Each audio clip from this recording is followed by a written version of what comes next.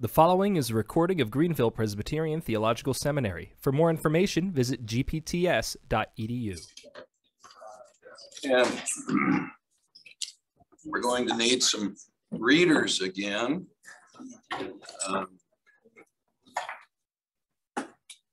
What we want to do is we're going to read Revelation. We're going to look at uh, the background of Revelation 21 this morning in the Old Testament.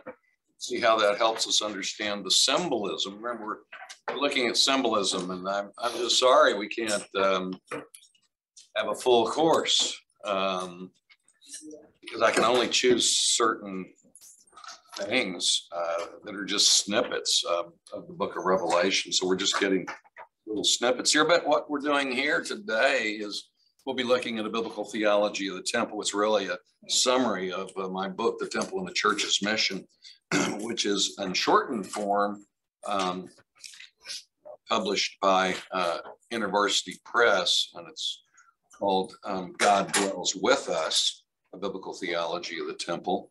And uh, the first uh, edition was subtitled Expanding Eden to the Ends of the Earth. And that really gets at the idea expanding Eden to the ends of the earth. And so we're going to look at a biblical theology of the temple as the background behind Revelation chapter 21. So we're, uh, we're going to be writing an interpretative bull this morning. So hang on. Okay. If I go too fast, raise your hand. Yesterday I went too slow, but I wanted to make sure that first lecture is so important. Uh, I wanted to make sure that, you know, um, that everything's somewhat clear. I never assume I'm completely clear. So chapter 21, I'd like someone to read, uh, starting at verses uh, one through three. and I'll, I'll have that person continue at verse nine. Any, and yes, sir, please. Thank you. Start now. Yes, and what, so we'll read uh, God's word here, Revelation 21, and then we'll uh, open prayer. Um, so if you start, please. And I, I'll probably stop you to get someone else because that's a lot to read. Now I saw a new heaven and a new earth, for the first heaven and the first earth had passed away. Also, there was no more sea. And I, John, saw the holy city, New Jerusalem, coming down out of heaven from God, prepared as a bride adorned for her husband. And I heard a loud voice from heaven saying, Behold, the tabernacle of God is with men, and he will dwell with them, and they shall be his people. God himself will be with them and be their God. If you would continue with uh, with verse nine. By the way, it's so it's so nice to hear a, a, good solid Southern accent. I, I, love it. My wife and I were confined to uh, the Northeast and Midwest for about 43 years. So it's, it's so nice. Thank you. Continue. Thank you. Uh, then he who sat on the throne said, Behold, I make all things new. Let's see. If you'd start, just skip that and go to verse nine. Okay, start with verse nine. Yeah, please. Thank you. Uh, then one of the seven angels who had the seven bowls filled with the seven last plagues came to me and talked with me, saying, Come, I will show you the bride, the Lamb's wife. And he carried me away in the spirit to a great and high mountain and showed me the great city, the holy Jerusalem, descending out of heaven from God, having the glory of God. Her light was like a most precious stone, like a jasper stone, clear as crystal. Also, she had great and high wall with 12 gates and 12 angels at the gates and names written on them, which are the names of the 12 tribes of the children of Israel three gates on the east, three gates on the north, three gates on the south, and three gates on the west. Now, the wall of the city had 12 foundations, and on them were the names of the 12 apostles of the Lamb. And he who talked with me had a gold reed to measure the city, its gates, and its walls. The city is laid out as a square, its length is as great as its breadth. And he measured the city with the reed twelve thousand furlongs. Its length, breadth, and height are equal. Then he measured its wall, one hundred and forty cubits, according to the measure of a man, that is, of an angel. The construction of its wall was of jasper, and the city was pure gold, like clear glass. Okay, let's get someone to read verses nineteen uh, all the way through twenty-two, three. Any, uh, thank you so much.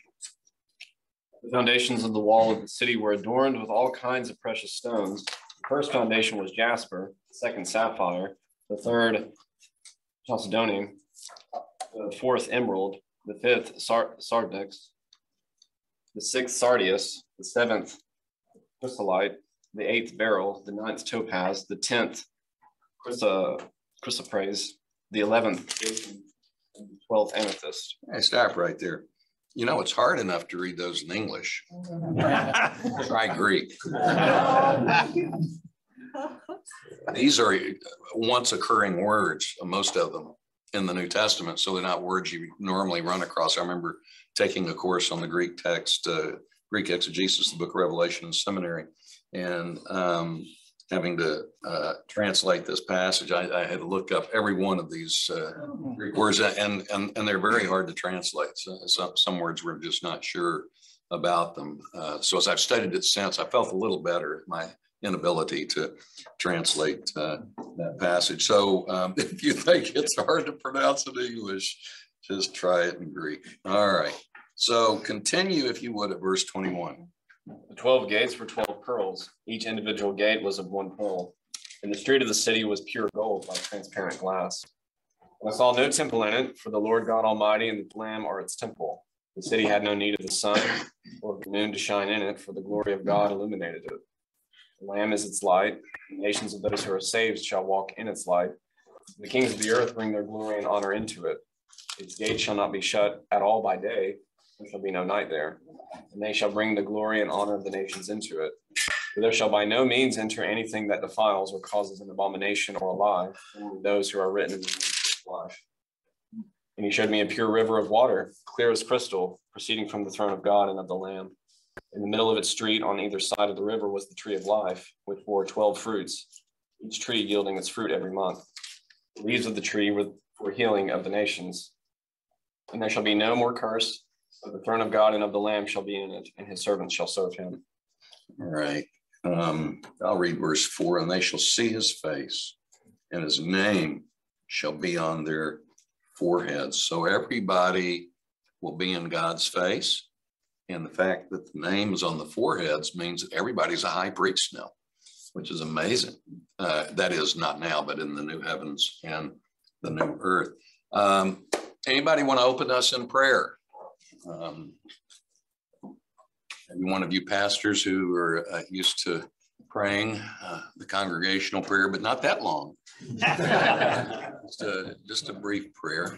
Yes, sir, please. Our Father, we are grateful to be here today. We're grateful for a night's rest and for the privilege of uh, sitting under this teaching and, and hearing about these glorious things. God, we long to be in your presence as we've just read. We long to see your face, Lord Jesus. Uh, we love you. We thank you for your shed blood. We thank you for your uh, sacrifice for us that we might be forgiven of our sins. We pray you would forgive us of all of our sins. Help us, Lord, to receive this teaching today, uh, to be instructed well, to be uh, encouraged uh, in teaching these things. And we pray, oh Lord, that as we go forth, uh, we would strive to live as priests uh, in, in, our, in our context. Thank you, Lord, for this time. And we pray you bless our brother as he teaches us. In Jesus' name, amen. Amen. If you look in the margins of your Bibles, if you have margins in your Bibles, and hopefully you have a margin, uh, a Bible that has a margin. Um, and again, uh, if you don't have the Novum Testamentum Graece, uh, Nestle-Aland 28th edition, uh, even if you don't know Greek, you need to get that. Um, my wife doesn't know Greek and she's got it. And um, so she's she's using the the margins uh, together with her treasury of scripture quotations, um, which I also use. Now, Uh, if you look in the margins, you'll see a lot of Old Testament references, whether in the Greek text or in the English text. And I think that what that tells you is that key to interpreting this passage is the Old Testament. In fact, I think if you don't know uh, the Old Testament, you're going to have a hard time interpreting the New. That's all over the place. As I mentioned yesterday, um, uh, the references to the Old Testament are mainly in allusive form, not in formal quotational form. And so if you're not tracing the allusions and recognizing them, you're missing most of uh, the use of the Old Testament and the New. So I hope that you'll uh, uh, use those margins. And we'll even uh, look today at how important the margins are. But as we look at this text, there is a problem here in Revelation 21. Why does John see a new heavens and earth? We saw that, right? Verse one, I saw a new heaven and a new earth. Why does he see it? And yet, in the rest of this vision, he sees a city that's in the shape of not a temple, but the Holy of Holies, and it's garden like. And the city's called the bride as well. So um, you would expect if you see the uh, something that says, and I saw new heavens and earth, and then it's going, he starts describing it we are going to see, I saw the valleys and the mountains and the rivers and the tundra and the seas and the lakes and etc. We don't get any geographical information at all. It's weird. I saw new heavens and earth, and then he says, I saw a city in the shape of the Holy of Holies that's garden-like, and the city's called the bride. Um, that that why is that?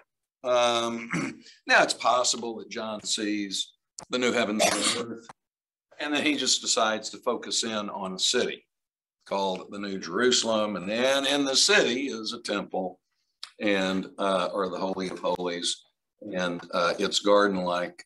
It's possible that that's what's going on, but I don't think it is because we're going to see, in fact, that the new heavens and earth is equated with the city uh, uh, in the shape of the Holy of Holies that's garden-like. And so uh, we have to ask that. The first thing that I want to show you is just some of the uh, Old Testament references that, that, if I can say it this way, conjure up a temple atmosphere. And the first is Ezekiel. Ezekiel 40 to 48 is sort of the famous vision of the future temple. And by the way, people often ask me, can you tell me what that means? And uh, it, it's kind of hard to summarize that in a short conversation. But I do have a chapter on it in my book, The Temple and the Church's Mission. And um, generally, I will say, I think it's symbolic indeed for a future temple. And we'll see. I'm going to contend that it's inaugurated in the church age and consummated in um, the new heavens and the new earth. That's all I'm going to say about that vision at this point. But having made reference to that vision, there are some Old Testament references to the temple in Ezekiel. For example, if you look at verse three, I heard a loud voice from the throne saying, Behold, the tabernacle of God is among men. Well, that's from Ezekiel 37, 27, which really is then elaborated in chapters 40 to 48. And then if we skip down in verse um, 10, he carried me away in the spirit to a great and high mountain showed me the holy city, Jerusalem. If you look at Ezekiel 40 and verse 2, that's exactly what happens to Ezekiel. He is put on a high mountain. He looks uh, at the city. So, so John is kind of a latter day Ezekiel here. And then in verse 11, it says that the city having the glory of God. Now, that phrase, having the glory of God, is from Ezekiel chapter 40 and uh, actually 43 um, in verse 2, where uh, glory of God shone on um, uh, the temple and the city. And then you remember around chapter 47 or 48, there, there are these gates around the city, 12 of them. And that's what we find here in um, verse 12 had a great and high wall with 12 gates, and at the gates, 12 angels. Names were written on them, which are those of the 12 tribes of Israel. Then it goes on to say three gates on the east, three gates on the north, three on the south, three on the west, and just as it was in Ezekiel. So uh, all of these things associated with the temple are uh, mentioned here. Um, and then, uh, very interesting, we read about these precious stones uh, that, that, are uh, very difficult, especially in Greek. Uh, we read about them in verses 18 through um, through 20. Um, by the way, it, it talks about um, one of those stones being uh, jasper. Well, when I was writing, finishing chapter 21, we happened to be in Maine. I was substituting for a pastor who was uh, on, on vacation up there. And so we were up there for about three weeks and, and there was a beach nearby called Jasper Beach. And so uh, it was called Jasper Beach because the stones on it were jasper. So we went and I remember collecting the stones. We were going to polish them up and uh, that sort of thing. I think we still have the bag of those stones unpolished, but uh, we thought that was very interesting. A, a, beach that has nothing but jasper stones. I've never seen that before. Um, so uh, these precious stones uh, are they, they have a precedent, and that precedent is in Solomon's temple, which was also the foundation was overlaid with gold, and uh, the foundation was composed of precious stones. Uh, actually, uh, the, the Holy of Holies and, and the holy place was overlaid with gold, and then the foundation uh, was composed of precious stones. Uh, so it's a definite allusion back to that. So what am I doing here? I'm just trying to show you that this is a um, uh, a vision that certainly has to do not just with the city, but with at least a temple. But now it's not just a temple. Look with me at chapter 21 and verse 16. The city's laid out as a square, and its length as great as the width. And he measured the city with the rod, 1,500 miles. Its length and width and height are equal. Now, that phrase, its length and width and height are equal.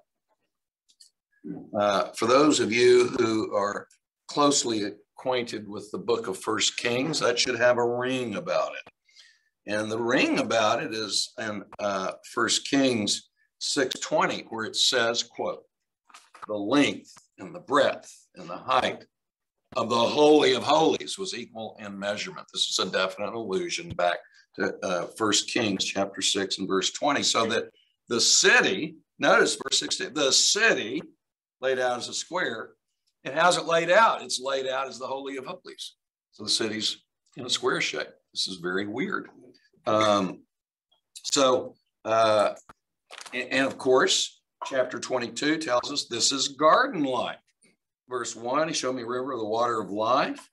There's crystal. Verse 2, in the middle of its street on either side of the river was a tree of life bearing 12 kinds of fruit, yielding its fruit every month, and the leaves of the tree for the healing of the nations. And um, it's very interesting there that the tree of life, this is weird, look at verse two, it was on either side of the river of life. I mean, is this some kind of huge tree? Has roots on either side. Probably we're talking about a forest of the tree of life here, just as you might refer to um, uh, you know, some woods that, that are mainly oak, you'd say, look at the oak. It's not just one tree, it's a group of trees. So probably here we're talking about the escalation of the Garden of Eden because in biblical theology, when the end comes, we're not just talking about a reconstitution of the Garden of Eden. We're talking about that plus an escalation of the Garden of Eden. And this is one of the one of the ways to show the imagery of the escalation. You got not, not just one tree alive. You got a forest on either side, or at least uh, trees, plural trees of life on either side. It's one of the elements of the escalation here. So what we have here is uh, uh, a garden-like city in the shape of the Holy of Holies. And uh, indeed, um, the city is also called a bride. We'll also talk about that. So, but how can we explain the apparent discrepancy that John sees a new heavens and earth, and the rest of the vision, he doesn't see any geography. He just sees a city in the shape of the Holy of Holies that is garden like. Um, as I said, it's possible maybe to think that, well, he sees new heavens and earth and he zeroes in on the city and in the city is a temple. I don't think that's the case because there's an equation in this passage, an equation of the new heavens and earth with the city in the shape of a garden-like temple. And I want you to see that. You'll notice, first of all, chapter 21, verse 1. I saw a new heaven and a new earth. Verse 2. I saw the holy city, New Jerusalem, coming down out of heaven from God, made ready as a bride adorned for her husband. Uh, probably verse 2 is further interpreting verse 1. New heaven and earth, what is it? It's a holy city, New Jerusalem coming down. And then verse 3 I heard a loud voice from the throne saying, Behold, the tabernacle of God is among men. As I said, that's from Ezekiel 37 27. That's elaborated on in chapters 40 to 48. But when you hear a voice in the book of Revelation, it usually is an interpreting voice. Usually you'll have a vision and then a voice, and that voice, whether it's from God, Christ, uh, uh, exalted saints, or an angel, it interprets. And so here we we have sees a new heaven and earth, holy city. What's that? It is uh, the tabernacle. Um, this is a pattern throughout the book of Revelation. Uh, and sometimes it's turned on its head. Sometimes you'll have a declaration, then a vision will interpret the declaration. You remember chapter five, the famous passage where he hears about a lion from the tribe of Judah who is conquered. And the very next verse says, And I saw a lamb standing as having been slain. So, how does the lion conquer? Uh, that's what he hears. It's interpreted by the vision. Uh, a lion conquers by being a slain lamb. So, you have this juxtaposition. And here you have the vision, and I think it's interpreted by the interpreting voice in verse three. But furthermore, that the, um, the, the city is equated with the new heavens and earth I think is evident if you turn to chapter 22. And uh, you need it. Is a little harder to follow, but I hope I can uh, present it. Chapter 22, verses 14 to 15. Blessed are those who wash their robes, that they may have the right to enter, uh, uh, the right to the tree of life, and may enter by the gates into the city. Verse 15, outside are the dogs and sorcerers and the immoral persons, murderers, idolaters, everyone who loves and practices lying. If you read some commentators, they'll say, here we have the new heavens and earth, the eternal new heavens and earth. And you, you got God's people in the city, and around it, you got eternal hell, because the, the, the, these are the people who are uh, uh, unbelievers. And, and uh, this same, these same classes, notice where they are in chapter 21 and verse 8 for the cowardly and unbelieving and abominable murderers and immoral persons and sorcerers and idolaters and all liars. Most of those are the same classes as in 2215. Their part will be in the lake that burns with fire and brimstone, which is the second death. So uh, in the new heavens and earth, you'll just have unbelievers also together with believers separated by a wall. And the unbelievers are in the lake of fire. Um, so uh, that's kind of problematic. Uh, to think that uh, unbelievers will be in the new creation with uh, believers and that the lake of fire is right around the walls. Uh, I think a better view is, is this that what we have is uh, a different dimension.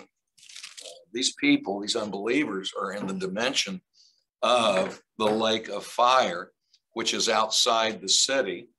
And uh, and I think it has to be outside the new heavens and the new earth. So the city represents the new heavens and new earth that uh, uh, the lake of fire uh, is in a different a different dimension of. So um, I think that uh, uh, that shows that the city in verse 14 being outside of the place where the unbelievers are uh, it's got to be in a different dimension. And what is that dimension? It is the dimension of the new heavens and the new earth. So I think there's an equation of the city with the uh, new heavens and earth there, which um, is outside the dimension of hell, if you will.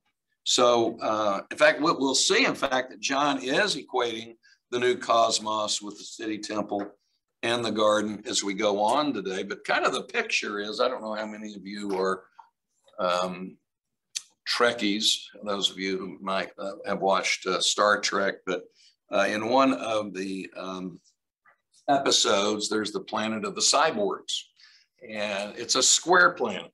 Okay. By the way, Star Trek is still on for those of you who have not watched it. It's still on.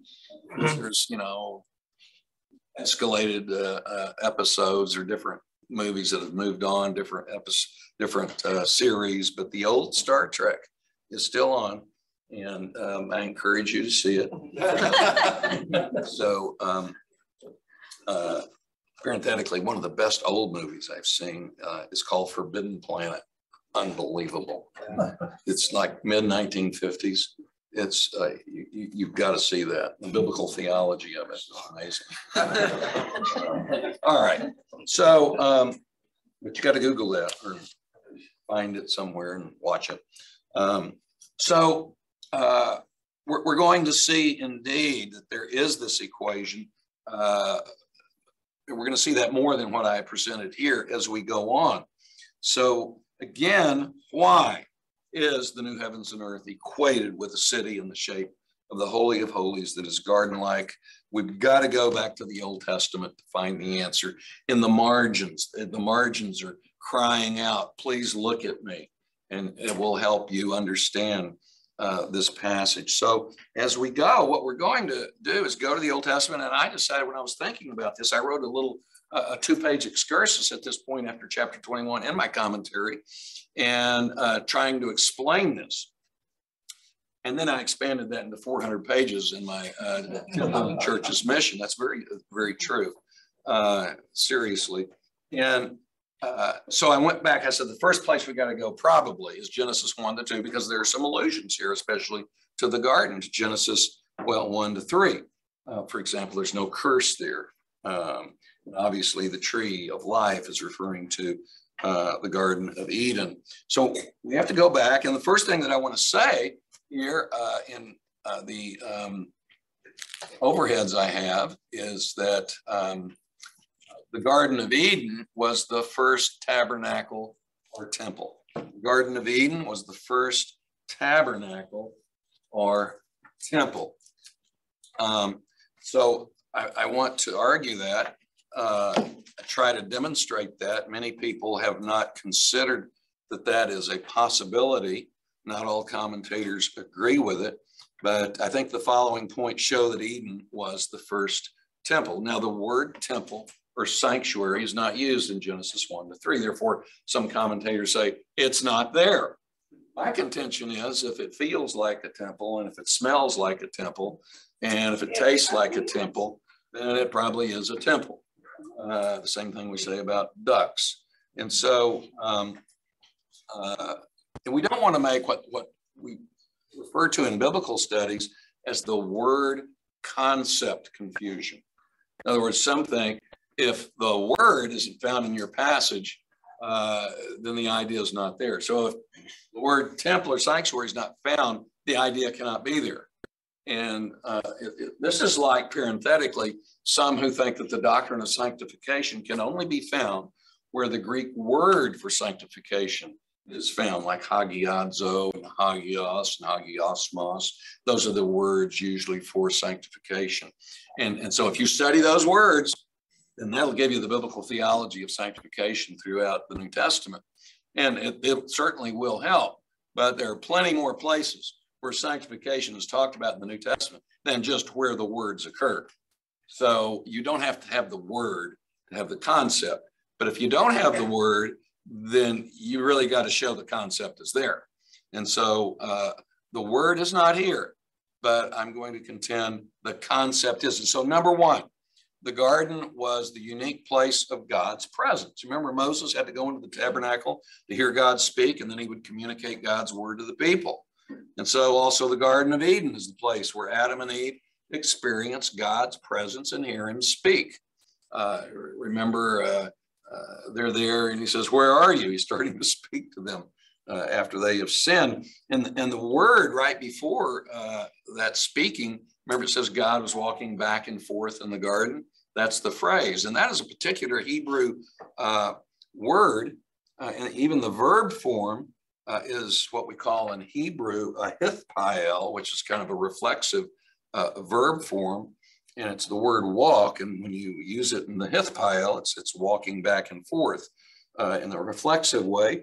And that word, intriguingly, and the same verb form, it's a participle, is found in Leviticus 26 12, Deuteronomy 23 14 or 15, and 2 Samuel 7 6 to 7.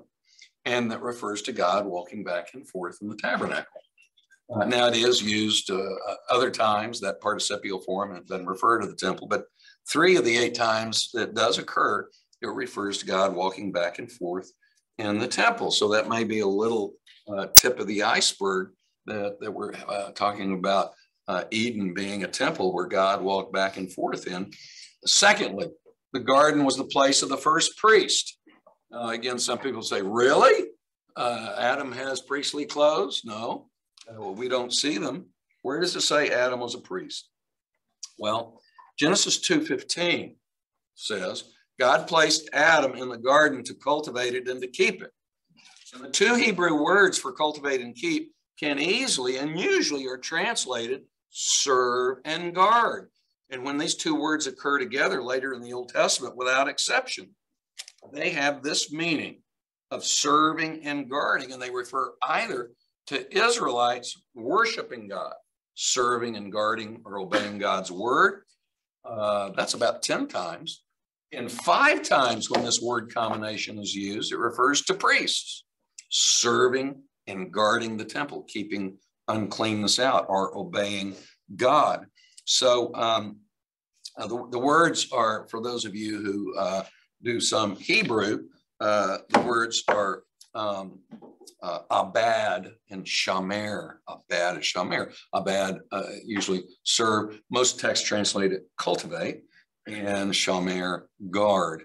And so Adam, uh, that he was to be the first priest to serve in and guard God's temple may be evidenced by these words. Now it's interesting uh, if you look at uh, Egyptian temples that in their courtyards they had gardens, and priestly duty there was to cultivate the gardens. So it's very possible to translate this as cultivate and guard in the sense that cultivation was a priestly duty in this uh, in this in this tabernacle. You find, by the way, uh, similarities between pagan temples in the ancient Near East and uh, with Israel's temple.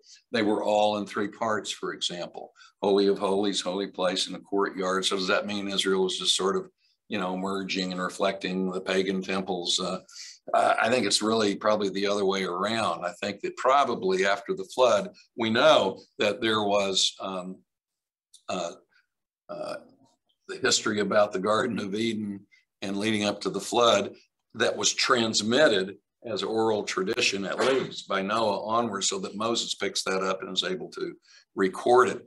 And so, um, likewise, some of that oral tradition probably was filtered out into the uh, unbelieving world as well. Uh, the special revelatory uh, history of the Garden of Eden is, is expressed in Scripture, but uh, pagan temples probably had some common grace idea of, uh, of the Garden of Eden temple, so that probably uh, when, when they describe or build their temples, it's similar to Israel's. Israel's is the true one, and uh, the others are faint uh, uh resemblances of uh, the original Eden Garden.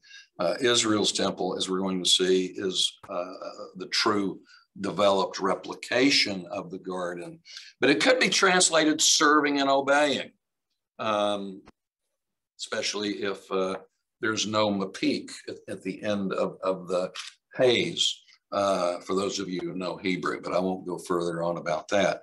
They could be infinitives. Um, uh, but even if it's translated cultivate and guard, the idea is wherever else these two words occur, they're always serving and obeying. So there would be the ring of it. Uh, uh, with the idea of serving and obeying as it's used elsewhere. Now, when Adam fails to guard the temple by sinning and letting in an unclean serpent to defile the temple, it's interesting. Adam loses his priestly role. The two cherubim take over the responsibility of guarding the garden temple. And um, but before we further talk about the two cherubim, I think probably the best evidence that Adam was a priest is found in Ezekiel 28. So I'd like you to turn there in your Bibles, Ezekiel 28.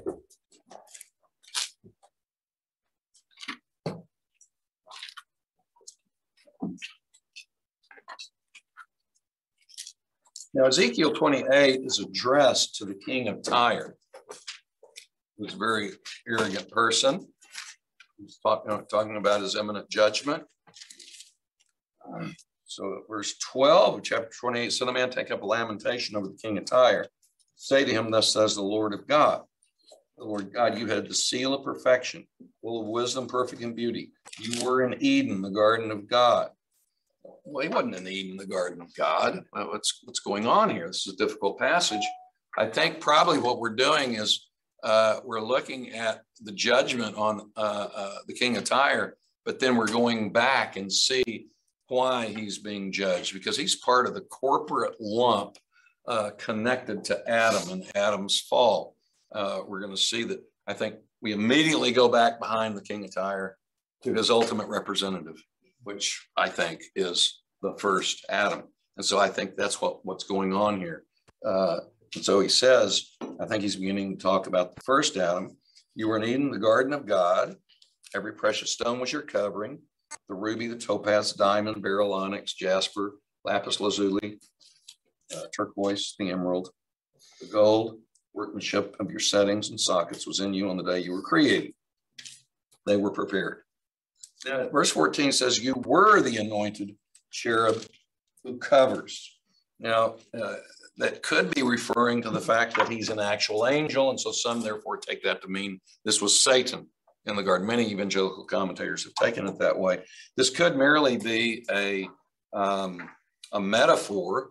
You were the anointed cherub, like uh, scripture, Psalm 23, you know, God is a, a father, or God is a shepherd. Doesn't mean literally shepherd or, uh, uh, or whatever, or God is um, a lion, uh, not literally a lion. Um, and so this, this could merely mean uh, you were cherub, uh, you were an angel uh, in the same way that well, God is a shepherd. Uh, you were like, in other words, you were like um, a cherub who covers. The Greek Old Testament translates it as you were with the anointed cherub. So uh, it doesn't say that Adam or that this figure was a cherub. He was with the cherub. Um, so uh, I, I, don't think that this is saying that um, this figure was a cherub, but he was like a cherub. And the earliest translation of this passage separates this figure uh, from being an angel. So we're going to move on. I placed you there. You were on the holy mountain of God. You walked in the stones of fire. You were blameless in your ways from the day you were created until unrighteousness was found in you. And then it says, by the abundance of your trade, you were internally filled with violence. You sinned. I cast you as profane from the mountain of God. And I've destroyed you, O covering uh, cherub. Uh, and by the way, that, that word there, uh, O covering cherub, is guardian cherub. I believe with the word, if I recall right, of shamar, same word used as guard in uh, Genesis 2 and verse 15. So um, again, uh, I've destroyed you, O you who are like a covering cherub. Your heart was lifted up because of your beauty. Then now notice verse 18, uh, by the multitude of your iniquities and the unrighteousness of your trade, you profane, profane your sanctuaries. So uh, if this is talking not about Satan, and, and there's debate about it, but we have nowhere else in scripture where Satan is described as falling in the Garden of Eden. There's nowhere. And um, we do have in Genesis 1 through 3 a very clear description of someone who fell in a garden. I think that Ezekiel is referring to that. And, uh, and that that's why he goes, uh, talking about the judgment of the king of Tyre, he goes behind Tyre to the first Adam, the one who represents Tyre uh, as a fallen person. But notice verse 13. Look at those stones there. That verse is based on Exodus 28, 17 to 20. Guess what that's talking about? Anybody remember what that's talking about? The priest jewels, the jewels on the on the priest uh, ephod, and it's human. Okay, this is a human priest here. It further probably indicates we're dealing with a human here as well, and so um, uh, this is priestly clothing. It's, it's definitely all commentators agree. This goes back to Exodus chapter 28. Yes. Do you have a hand? Is it okay to raise? Yeah, please. Um, uh, I, I just would love to hear your thoughts. You know, we, we so identify Adam being covered after he sinned. Yeah. And uh, these jewels to Yeah. constitute a covering. I How, think, how do you navigate I think that? that they reflect the glory of God. And then, uh, you know, when he falls, all that falls away. Is it, did- When he knows he's naked like- and yeah, Would you understand it more as like metaphorical jewels of the beauty of God reflected in Adam as an image bearer or? that's a good question. That's a good question. Um, if it were purely metaphorical, uh, it would still resonate with this priestly idea um, that that he, uh, in some way, is is configured as as as a priest. So I'm not concerned, to try to get to the bottom of that. Either way, I think it would reflect. That's my point. It reflects a a, a priestly uh, notion here. Whatever it may it may just be. If it is purely metaphorical, it would be the idea that Adam reflected the glory of God. One way to say that is that um, he was covered with jewels. It's like uh, Revelation chapter four uh, uses some of these jewels. Um, and for example, chapter four, verse uh, three, he was sitting, he was sitting was like a jasper stone and a sardius in appearance. Uh, and there was a rainbow around the throne like an emerald in appearance. So you you have these stones. Why are they mentioned there? I think to reflect the glory of God.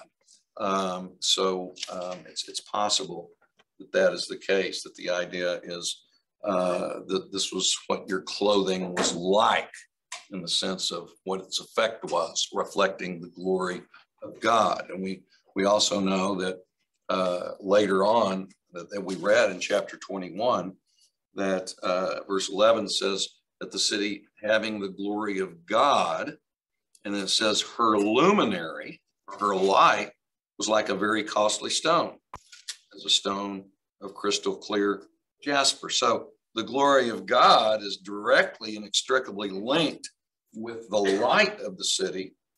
It was like a costly stone. So again, it's connected with a reflection of the glory of God. So it, it, it's possible. Okay, so uh, that's all I wanted to do was show that um, we, we have the description of the clothing. It's priestly clothing. It comes from Exodus chapter 28. Now, when Adam fails to guard the temple by sinning and letting in an unclean serpent to defile it, he loses his priestly role. The two cherubim take over the responsibility of guarding the garden temple.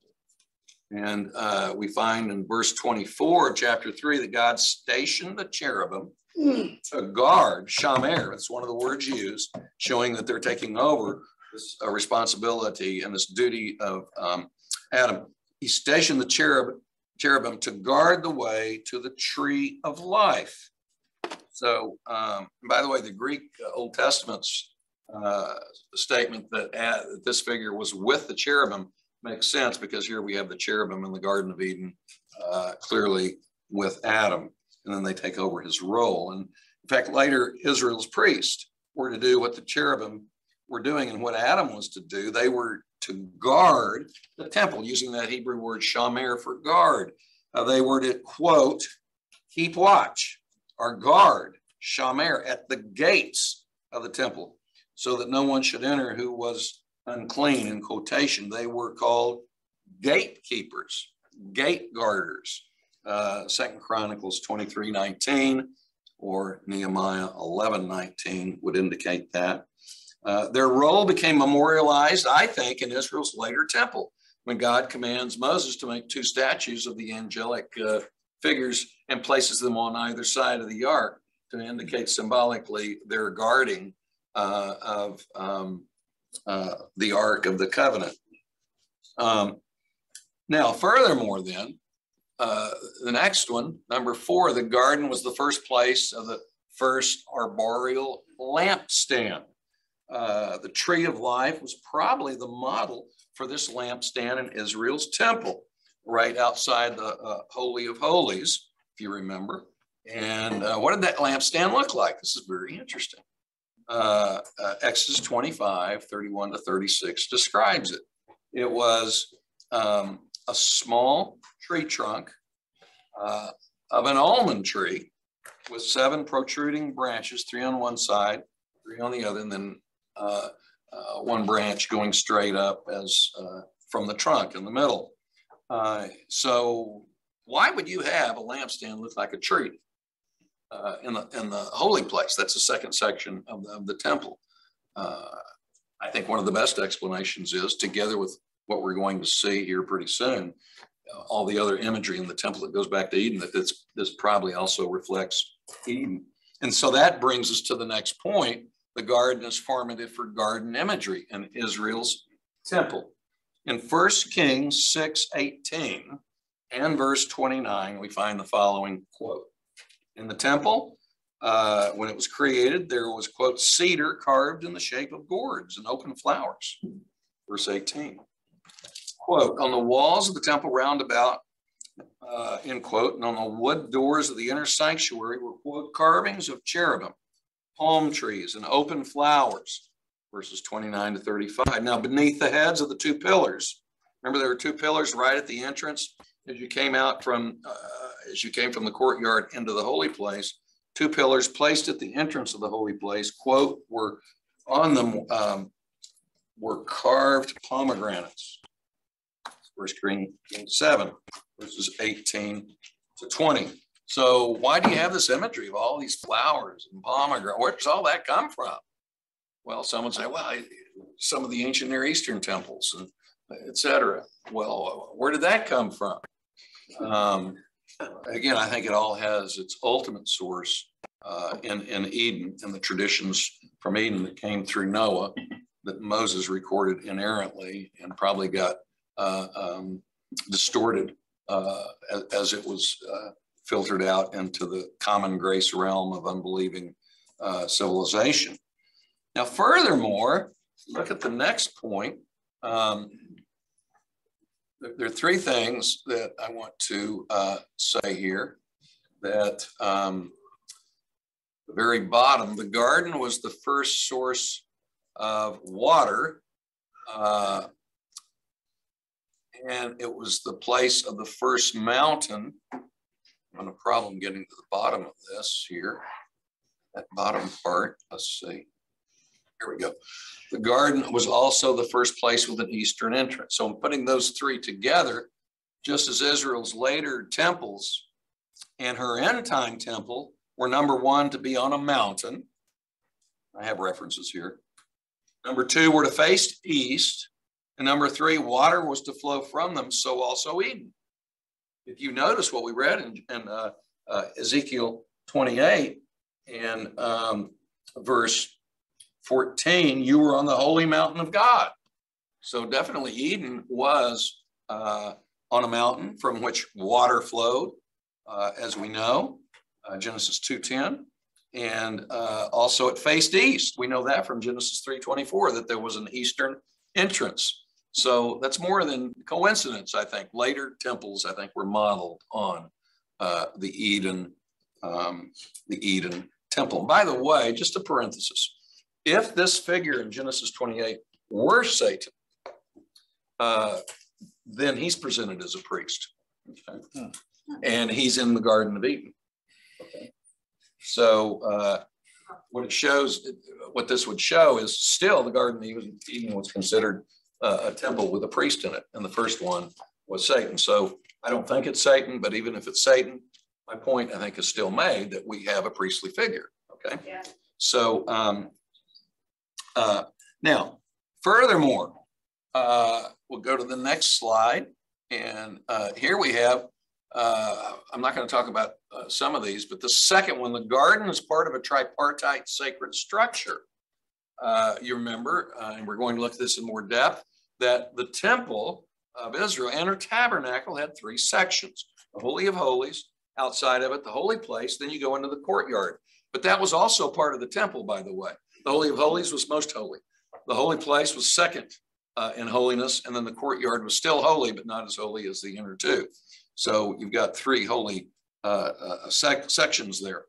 Um, and uh, Eden also, you have the waters uh, uh, that are talked about.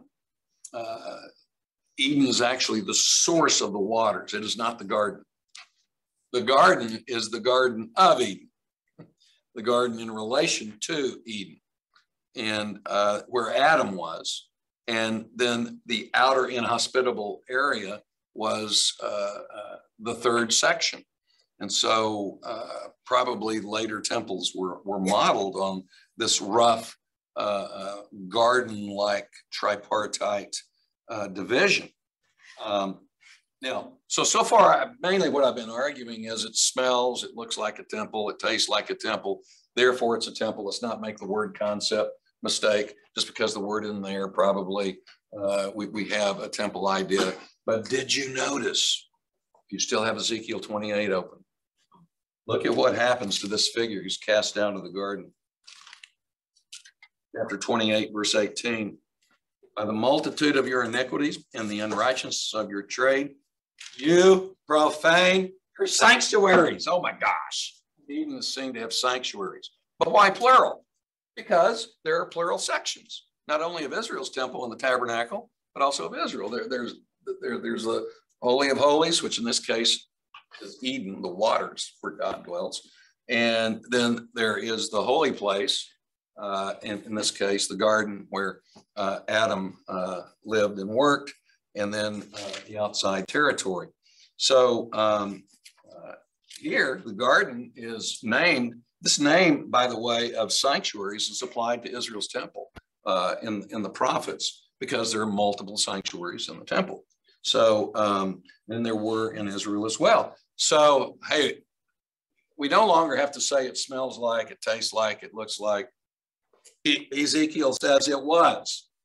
It was sanctuaries. Now, the irony of this is the, is the following.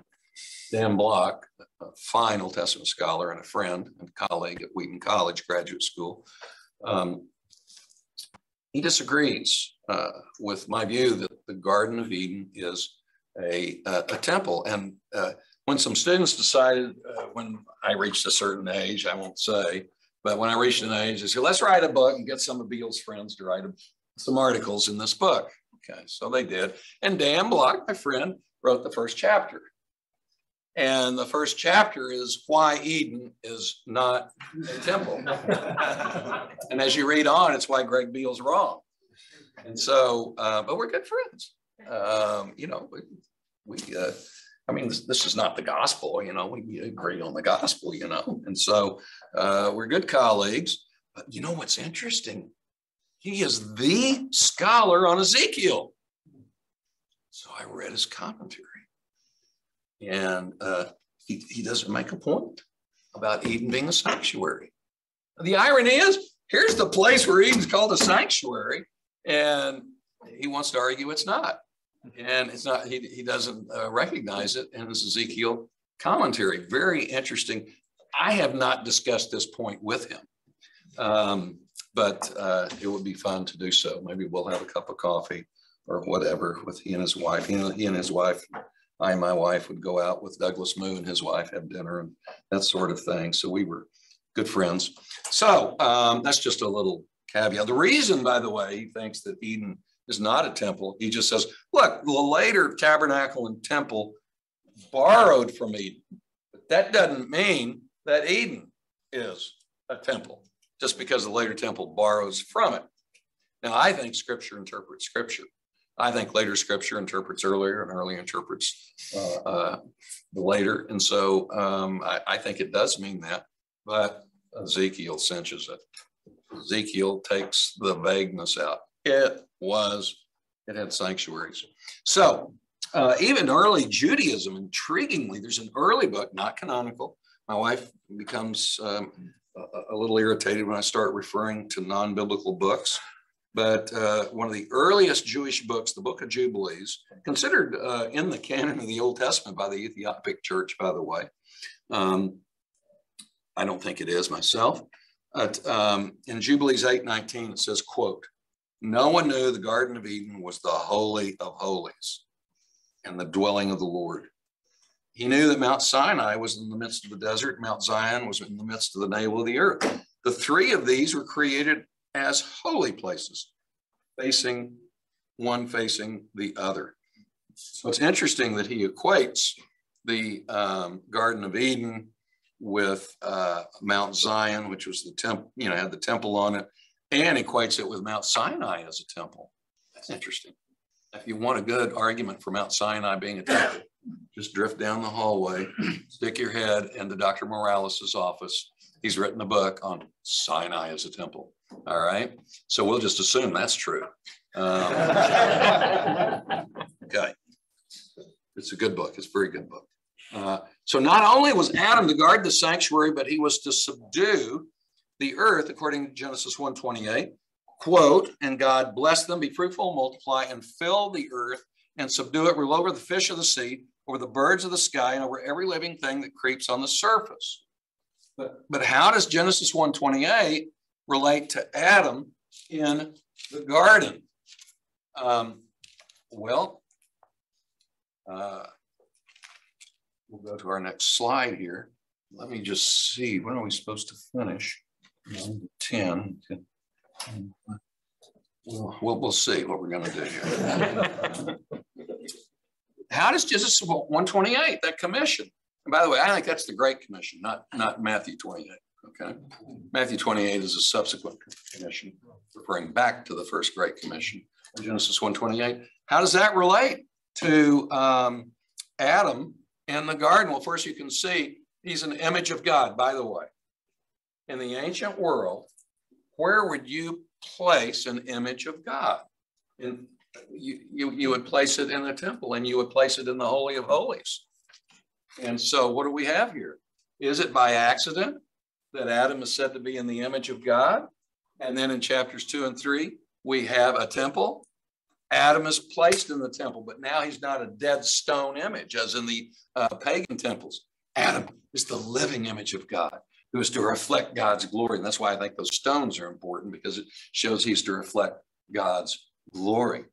Um, so um, God bless them. That's Genesis 128. He's in the image of God. Be fruitful and multiply, fill the earth, and probably fill the earth with glorious image bearers. They're in the image of Adam. So they are to reflect the glory of God too. That's the way it should have been. He was to rule over all the earth. So uh, one commentator has said this if people were going to fill the earth, according to Genesis 1, okay, says fill the earth in 128. And if people were to fill the earth, um, we must conclude they were not intended to stay in the garden in a static situation. Yet moving out of the garden would appear a hardship, since the land outside the garden was not as hospitable as that inside. Perhaps then we should surmise that people were gradually supposed to extend the garden as they went about subduing and ruling. Extending the garden would extend the food supply as well as, as extend sacred space. That is, extend the presence of God. It's not just geographical extension, but uh, presence of God extension. So, what this means is that Adam, I think, was to widen the boundaries of the Garden of Eden in ever increasing circles by extending the order uh, of the garden sanctuary into the uh, inhospitable outer spaces, which includes most of all spreading out and extending the special revelatory glorious presence of God. And this would occur especially by Adam's progeny in the image, progeny in the image of God, reflecting God's glory. So um, as, as they went about uh, extending the light of God's presence, uh, they would eventually fill the earth and um, so that the whole earth would be filled with the glory of God. So uh, this meant the presence of God then, which was limited to Eden, was to be extended throughout the whole earth. So what we have then uh, is uh, the garden was the unique place of God's presence. uh, Adam, the first priest, the guarding cherubim take over his priestly role. Garden was the first place of the tree-like lampstand. It was formative for garden imagery in Israel's temple. It was the first place where you have a mountain which has an eastern entrance with water flowing down from it. And, uh, and then you have the garden is tripartite. And then Ezekiel does a slam dunk and says, this is the garden. So, um, uh, and what we have here then is uh, we're going to look further at Genesis 128 in a moment. It's going to be very, very important. Um, so, uh, as we know, Adam was not faithful, um, but that he was to extend the garden.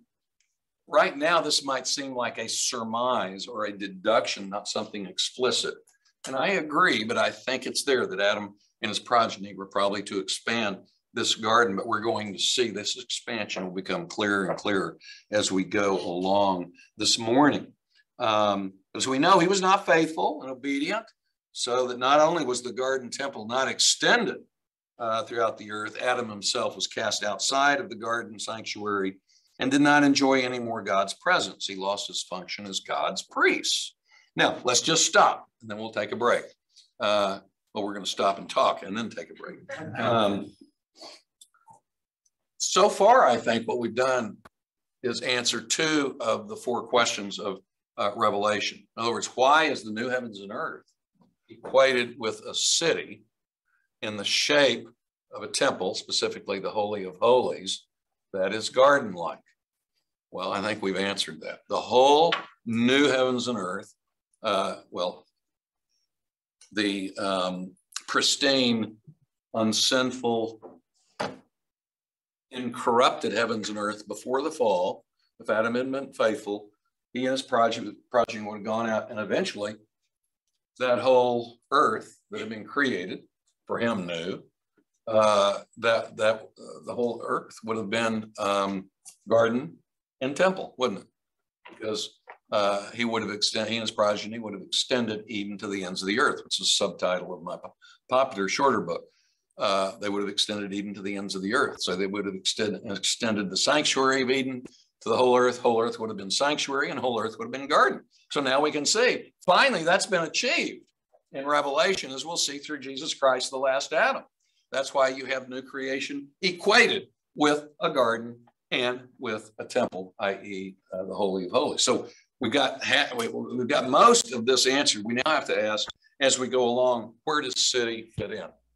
So we'll have to uh, answer that as we go along. So we've got a lot to cover. Let's just take maybe a, a uh, five minute break here, okay?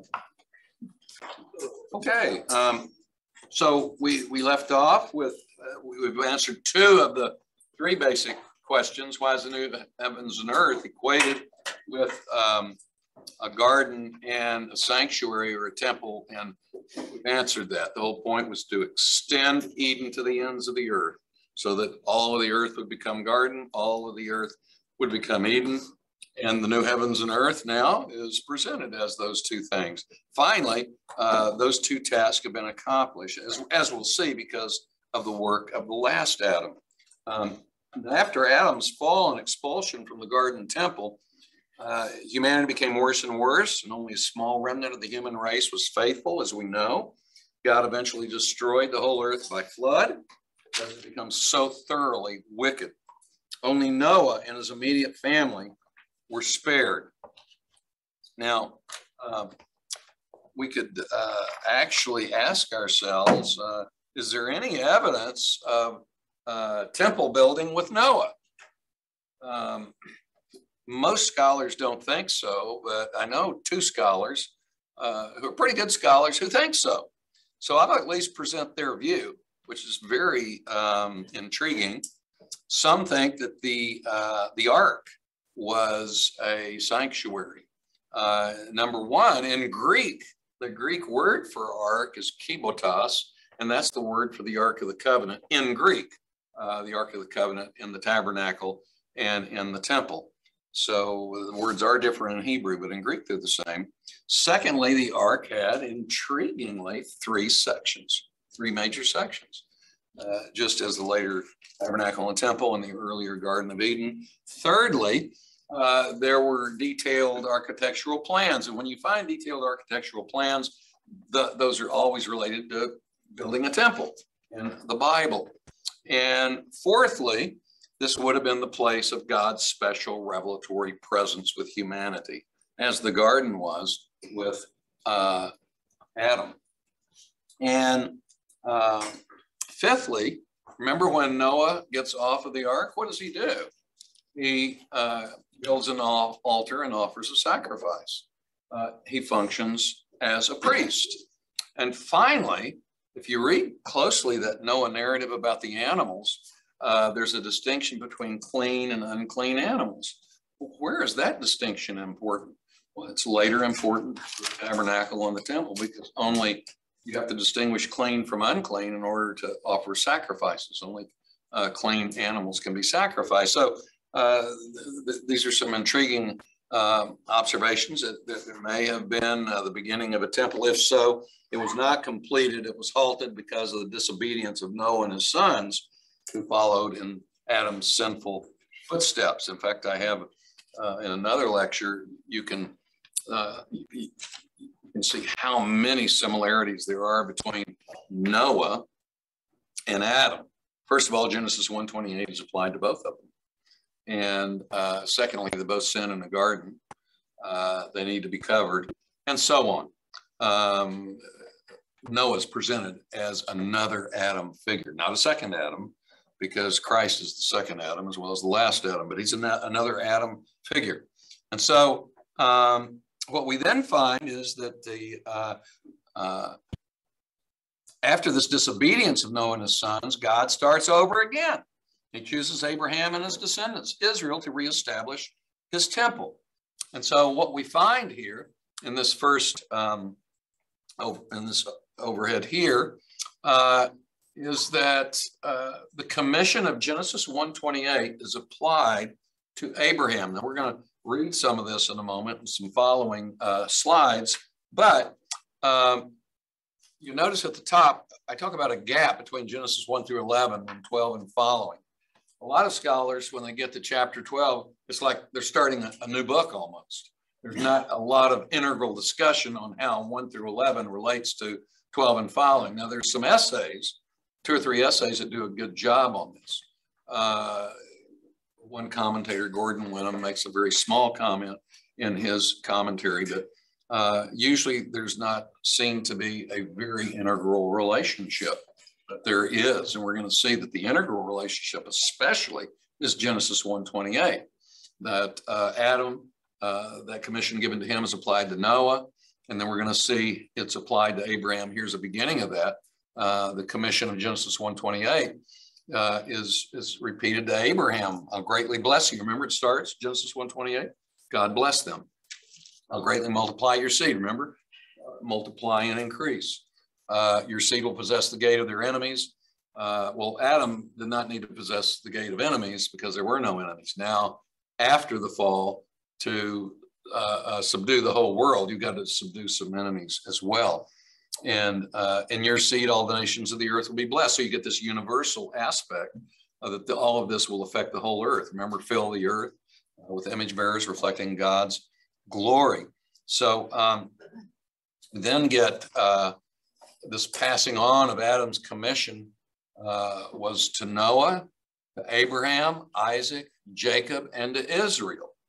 And uh, I think what this means is that uh, Noah and Abraham, uh, Isaac and Jacob, and then Israel uh, have the mantle of Adam.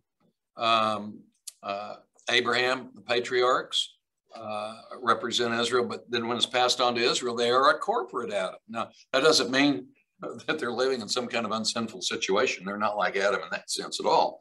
But the commission is passed on to them. In that sense, they have this, um, this commission passed on to them. And so uh, let's just look at some of that briefly. Here it is with uh, Noah in chapter 9. God blessed Noah.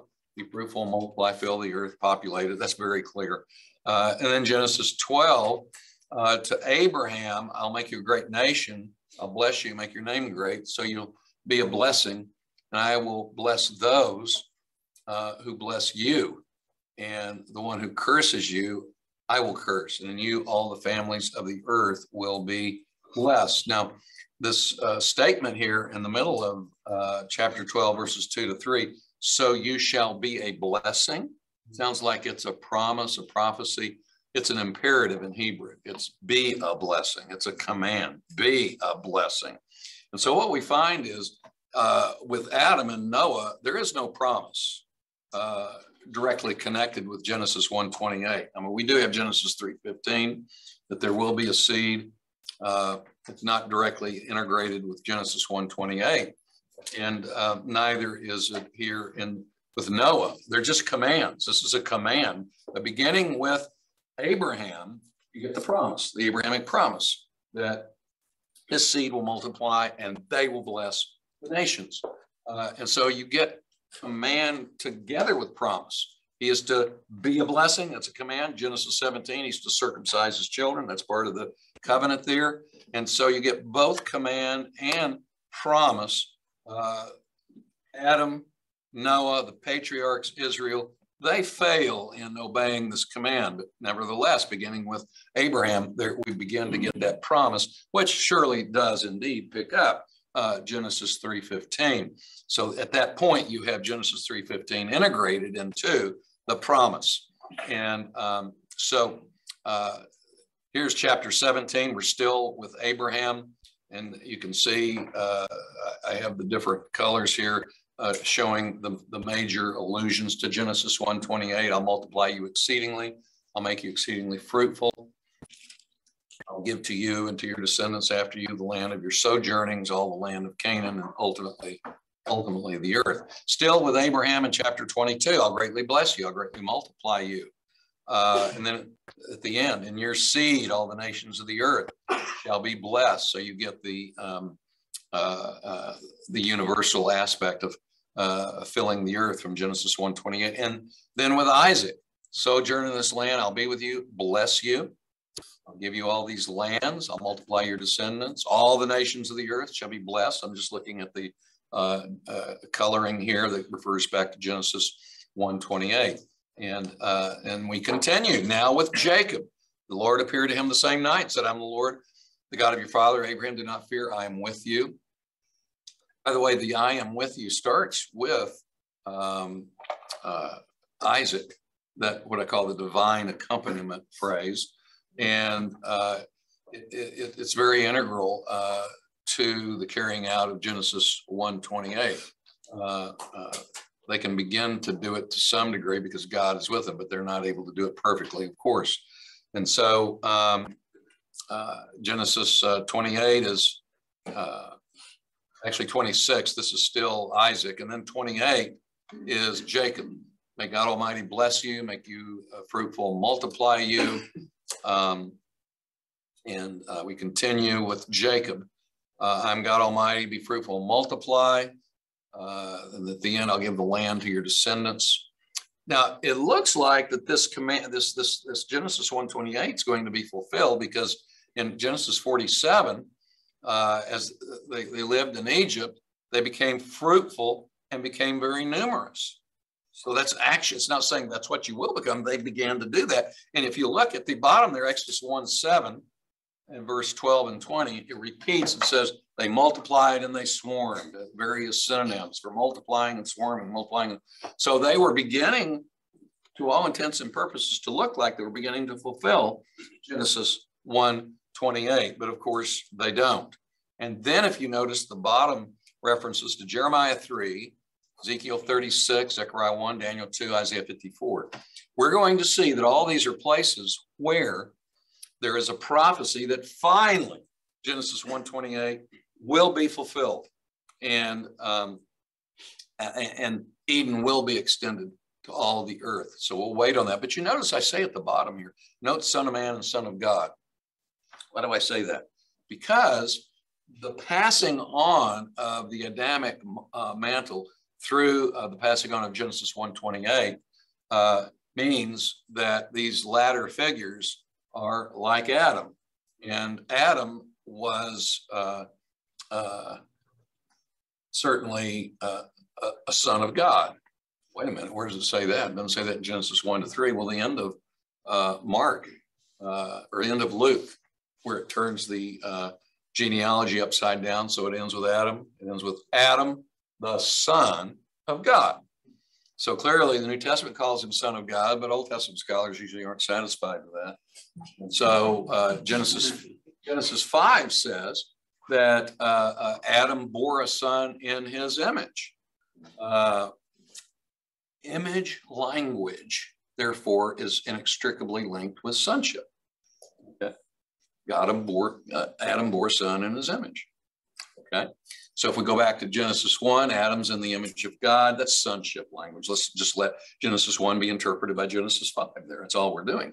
So uh, Adam was a son of God. Uh, all these other figures are uh, sons of God as well. Of course, he's a functional son of God. He's not the son of God in the uh, same way Jesus was. Um, though I'm, I'm going to comment on that. Certainly, Jesus was such an obedient son. No one could be that obedient, that is perfectly obedient, and, and because he was uh, divine, truly uh, uh, the Son of God in that sense. But um, he was also a son of God in the sense that just as uh, Noah and uh, Abraham, patriarchs in Israel, were sons of God, by the way, first time Israel's called son of God is in Exodus 4. Uh, uh, he talks about, you know, my firstborn son, Israel. Uh, Hosea 11, 1, also referring to the Exodus out of Egypt, have I called my son. In other passages, Israel is called son, God's son, the son of God. Why? Because they were to be obedient in the way that Adam was to be obedient. And so, um, but also son of man. Uh, there, the, the Noah and uh, the others are considered to be the son of Adam. Man is Adam. They're sons of Adam because that uh, uh, is passed on to them. And so uh, Jesus also is a son of Adam. And when he refers to himself as son of man, it's from Daniel 7, 13, and 14, which is alluding back to Psalm 8. I can't take time to talk about it, but uh, Psalm 8 is talking about the ideal eschatological Adam. And uh, Daniel's referring to that. And Psalm 8 is the most explicit psalm referring back to Genesis 1 to 3. So um, Son of Man, uh, Jesus calls himself, is really rooted in what we're talking about here. Ultimately, he is able to perform the covenant of works that Adam was not able to do. And by the way, the covenant of works was not just not to eat of the tree, it was also to obey Genesis 128. That's part of the whole complex there. Okay. So um, uh, the, the command in Genesis 3 was sort of the tip of the iceberg, the key focus that if, if it's obeyed, you'll means you're obeying also Genesis 128. Most people don't see that the covenant of works includes Genesis 128. I think it does. So, um, uh, so Jesus perfectly uh, uh, uh, does the covenant of works that Adam should have done. Uh, that's part of Genesis 128. And so, um, uh, what we want to do then is go a little bit further here, and I want to comment on something now. So I, I, what I've showed you, and I've gone through it a little bit meticulously, uh, how Genesis 128 is applied to Noah, to uh, uh, Abraham, Isaac, Jacob, to Israel, and then to end time Israel, where, where it will be accomplished. Um, what commentators apparently have not noticed, some noticed the passing on of Genesis 128, not all of them, but um, uh, something that they haven't noticed is when that commission of Genesis 128 is passed on, it's always in the context of small scale sanctuary building. Say that again. Whenever Genesis 128 is passed on, whether it's to Noah or especially the patriarchs, uh, it's always in the context, even of Israel, of small scale or even ultimately large scale sanctuary building. Okay? So uh, it's initially carried out, of course, by Adam in the garden. He was supposed to enlarge it. So it appears to be not accidental that the restatement of the commission of Genesis 128 to Israel's patriarchs results in the following. What do we have here? Well, we have the patriarchs doing six things. Number one, God appears to them. And number two, they pitch a tent Uh, in, in Hebrew, it's an ohel. In uh, Greek, that's translated as a tabernacle, a skene. Um, and then uh, it's on a mountain. And fourthly, they build altars. They worship God, literally calling on the name of the Lord, usually with the Hebrew word kara, which probably included sacrificial offerings at the place of the restatement of Genesis 128. And then the place is usually called temple. Notice it's called Bethel, the house of God. That's what it means. Uh, there, there's one case where it's not called that. And then this is interesting. I had only noticed these five. And then I was reading an Old Testament scholar uh, who said there's usually a tree in these locations. I thought, why would there be a tree? And I hit my head and say, stupid. Uh, it probably refers back to Eden. That's why you got to have a tree there. Okay. So um, now let me just give you one example where you have this uh, small scale altar building and, and small scale sanctuary building in the case of Jacob. And, and so we're going to read, I'd like someone to read for me here. Uh, if you uh, have it on the overhead, but you can get your Bible, Genesis 28, beginning at verse 10. And, and we're just going to read through uh, really all the way to verse 22. Anybody offer to, we want to read Genesis 28, 10 to 22. And um, first of all, just read uh, verses 10 to 14. Anybody want to help me on that? Yes, sir, please. Then Jacob departed from Beersheba and went toward Haran. He came to a certain place and spent the night there because the sun had set. And he took one of the stones of the place and put it under his head and lay down in that place. He had a dream, and behold, a ladder was set on the earth with its top reaching to heaven. And behold, the angels of God were ascending and descending on it. And behold, the Lord stood above it and said, I am the Lord, the God of your father Abraham and the God of Isaac. The land on which you lie, I will give it to you and to your descendants. And read verse 14. Your descendants will also be like the dust of the earth, and you will spread out to the west and to the east and to the north and to the south. And in you and in your descendants shall all the families of the earth be blessed. Wow, there, there's a Genesis 128. But you see how it's applied? It's expansion. This is amazing. Uh, he's he's to extend to the whole earth. Uh, he's to extend to every direction of the compass until the whole earth is uh, is blessed. And, and and you can see here in verse 12 that uh, what's happening, the place where God's revealing himself, this is the place where heaven intersects with earth. And that's what the temple is, where God's special revelatory presence uh, uh, in, the back part of the temple, Holy of Holies, intersected with, um, with the earth. And so you can see that the idea of the temple begins to be introduced here together with Genesis 128, and it continues. It, it begins explicitly to be called the temple. Continue at verse 15 uh, through 17. Behold, I am with you and will keep you wherever you go and will bring you back to this land. For I will not leave you until I have done what I have promised you. Then Jacob awoke from his sleep and said, Surely the Lord is in this place, and I did not know it. He was afraid and said, How awesome is this place! This is none other than the house of God, and this is the gate of heaven. He recognized, since this was the gate of heaven, where heaven intersected with the earth, that that is temple, and that therefore this was the house of God at that point.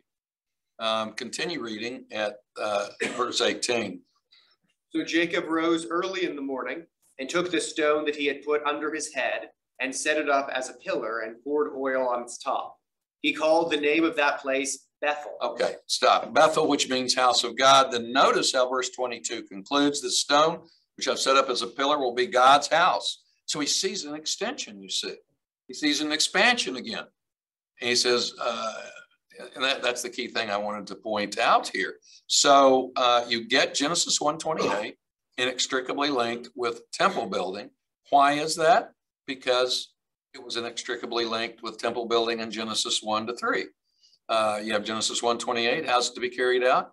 As Adam being a king priest in uh, Genesis chapter 2 and verse 3. And that in fact, I'm not reading things in, that this, uh, this six-fold pattern that we looked at uh, really is about temple building is apparent from First Chronicles, where uh, it narrates David's preparations on the screen now uh, for building the temple that Solomon will accomplish. And David's preparatory actions all include those sixfold elements, except the tree. There's not a tree, except figuratively. Uh, there's the tree in the holy place. Um, so uh, uh, all the same temple building patterns of Abraham, Isaac, and Jacob are repeated in David's building activities, which I think confirm that those activities of the patriarchs were indeed small scale uh, uh, temple building activities. So, um, uh, see here. Yeah.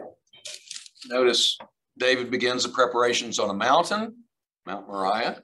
He experiences a theophany, the angel of the Lord standing between heaven and earth, as, as was the case with Jacob. At this site, David built an altar to the Lord, offered burnt offerings, called out to the Lord, Kara in Hebrew. Furthermore, David calls the place, quote, the house of the Lord God, because this is the site of Israel's future temple to be prepared by David and built by Solomon. So uh, now this confirms that those patterns with the patriarchs is indeed temple building activities. And so what we really have with the patriarchs is they're building you know, these small scale, uh, smaller uh, local sanctuaries. And the point of it, they're in the promised land and they're all really pointing to the bigger temple. It's to be expanded. Remember, Jacob says he's commanded go to the west, north, east, west. And then he says, from this stone, a temple will arise. Well, all of these point to the big temple, the sanctuary first, or the tabernacle in the wilderness, and then the temple. Remember, the, the, temp, the tabernacles integrated into the temple by David. Um, so uh, when we come then uh, to Israel's tabernacle in the wilderness and later temple, it was really a reestablishment of the Garden of Eden's sanctuary, since that's what these small scale temples were doing uh, with the patriarchs. So for the first time, um, God's unique presence with his people is uh, repeatedly and explicitly called a temple. We do have it called a temple earlier, but now it's just repeatedly uh, in, in very explicit form called a temple with Israel's temple. And so uh, we've already seen how the Garden of Eden had essential similarities with Israel's temple, which shows that Israel's temple was a development of the Garden Temple. Uh, and again, why? Why was it a development of uh, the garden temple because Israel took on Adam's commission, as we've seen. They were a corporate Adam. They were a son of God who should have obeyed like Adam. And thus also they were a son of man. That is, they were a son of Adam, should have done what Adam did. Uh, intriguingly, they are called son of man in Psalm 80 in verse 17. And actually, if you read Daniel 7 in the whole chapter, you'll see that the saints of Israel are identified with the Son of Man. So uh, something else that is true of the Eden Temple, which has not yet been mentioned, is that it served a little earthly copy, model of God's temple in heaven, which would eventually encompass the whole earth. Now, it's not so clear there, but it is later in Scripture. Uh, Psalm 78, 69, something amazing is said about the temple. Uh, it says this, quote, God built the sanctuary like the heights, the heavens. He built the sanctuary like the earth, which he has founded forever. In some way, uh, this structure that we're going to look at here, hard to believe, but it resembles the heaven and earth. Doesn't look like that to me. I mean, you've just got the very back part here uh, being the Holy of Holies, uh, where, the, where the two uh, angelic beings are in the very back, and then the stairs lead down. It's not clear there were stairs may have been to show that there's a little hill here. Why would that be? Because Eden was on a hill. And so uh, then you got the holy place in the middle there where the lampstands were and, and the table of the uh, uh, bread of the presence.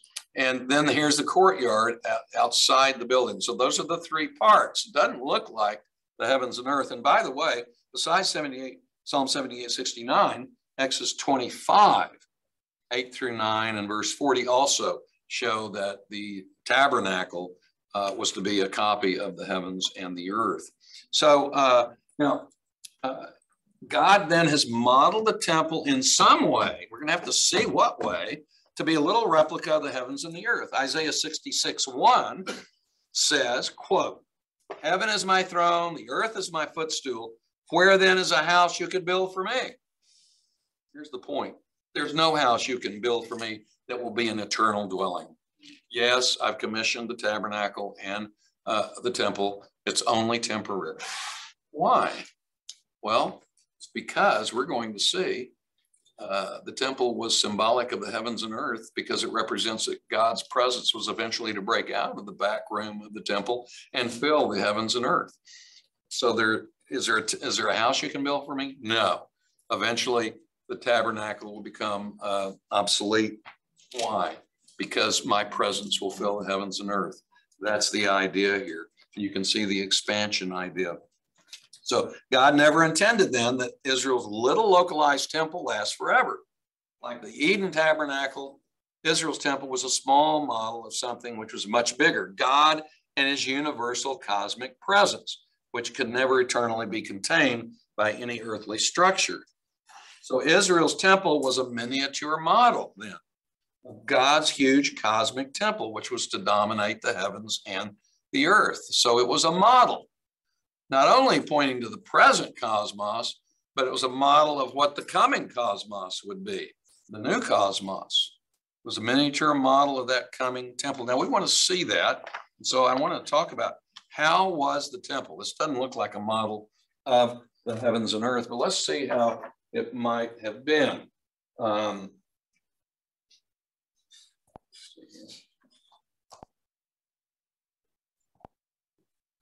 okay. Remember that in the there were three parts: the Holy of Holies, the holy place in the middle, and then around at the courtyard. And so we want to look at those. The uh, uh, I'm going to contend that the Holy of Holies represents the heavenly dimension that you can't see. That the holy place in the middle represents uh, the starry heavens that you can see. And then that the courtyard represents the earth and the sea. You still can't see that uh, right now you're, you're saying, really? That's weird. So let's look at that. First of all, let's look at the, um, the Holy of Holies, okay?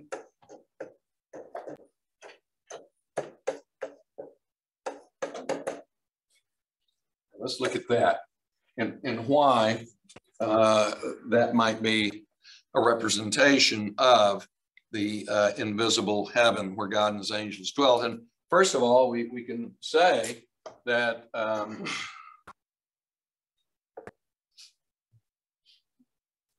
that we know from Revelation, well, from Isaiah 6, Revelation chapter 4, that angels, uh, we have four cherubim around uh, uh, the throne, and uh, probably they are seen as symbolic guardians of God in heaven.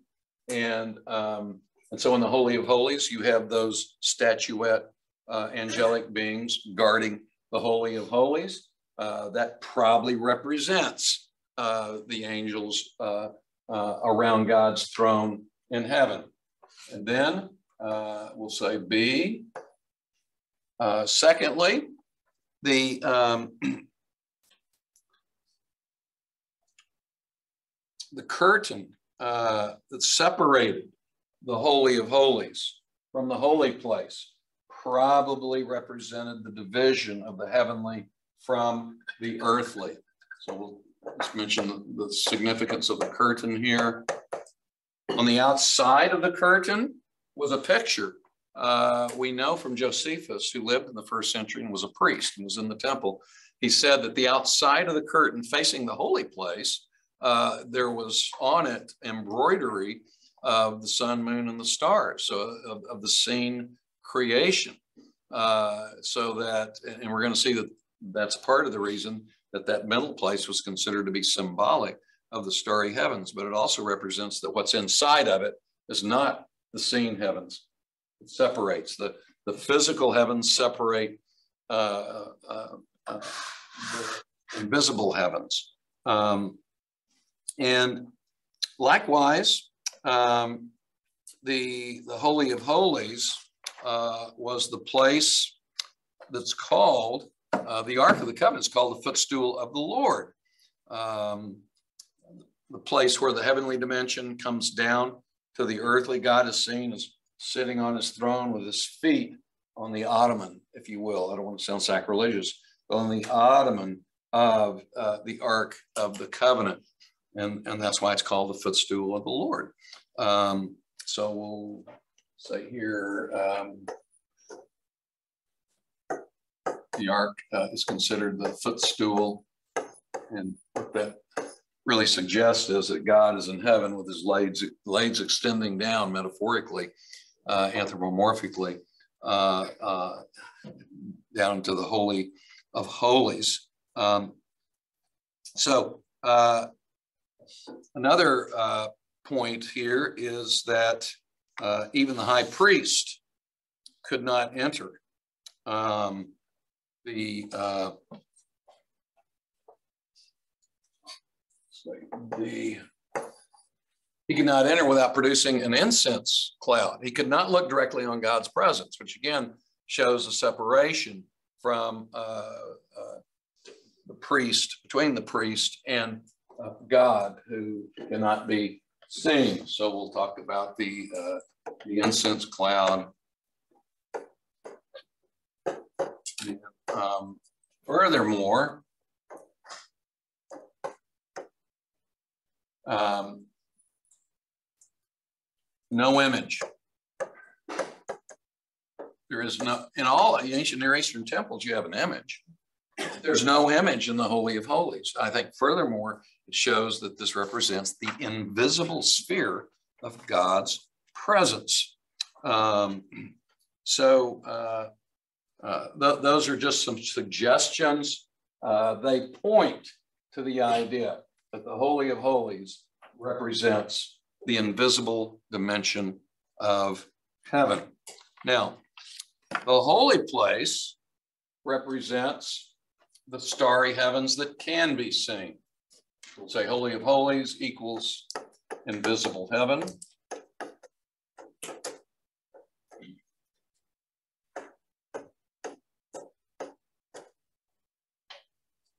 Here, the uh, holy place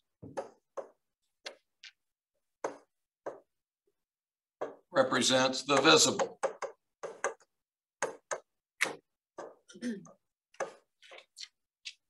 Heavens or sky that you can see. Uh, first, the curtains of the holy place, intriguingly, were blue, purple, and scarlet, probably representing the variated colors of the sky and woven into them also were bird-like creatures. Um, so uh, first of all, we can talk about the colors then, probably representing the sky that you can see. Uh, maybe you can even think of sunset here. But second, the lampstand had seven lamps on it.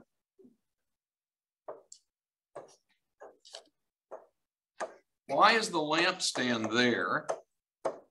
in a, uh, holy place would have seven lamps on it. In Solomon's temple, there were 10 of them. So if you peer in, it's a little dark in there because of the curtains. If you peer in, it's like a solarium. You see 70 lights in there. Uh, it looks like the stars of heaven.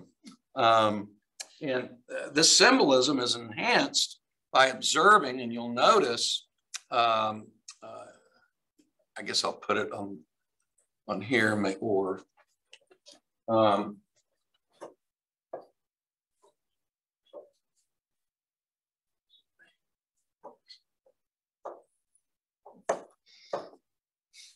Uh, that's not too clear because it's over something.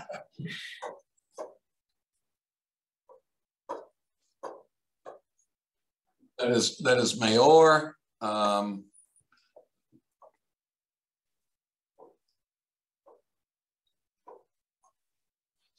um, that's an R.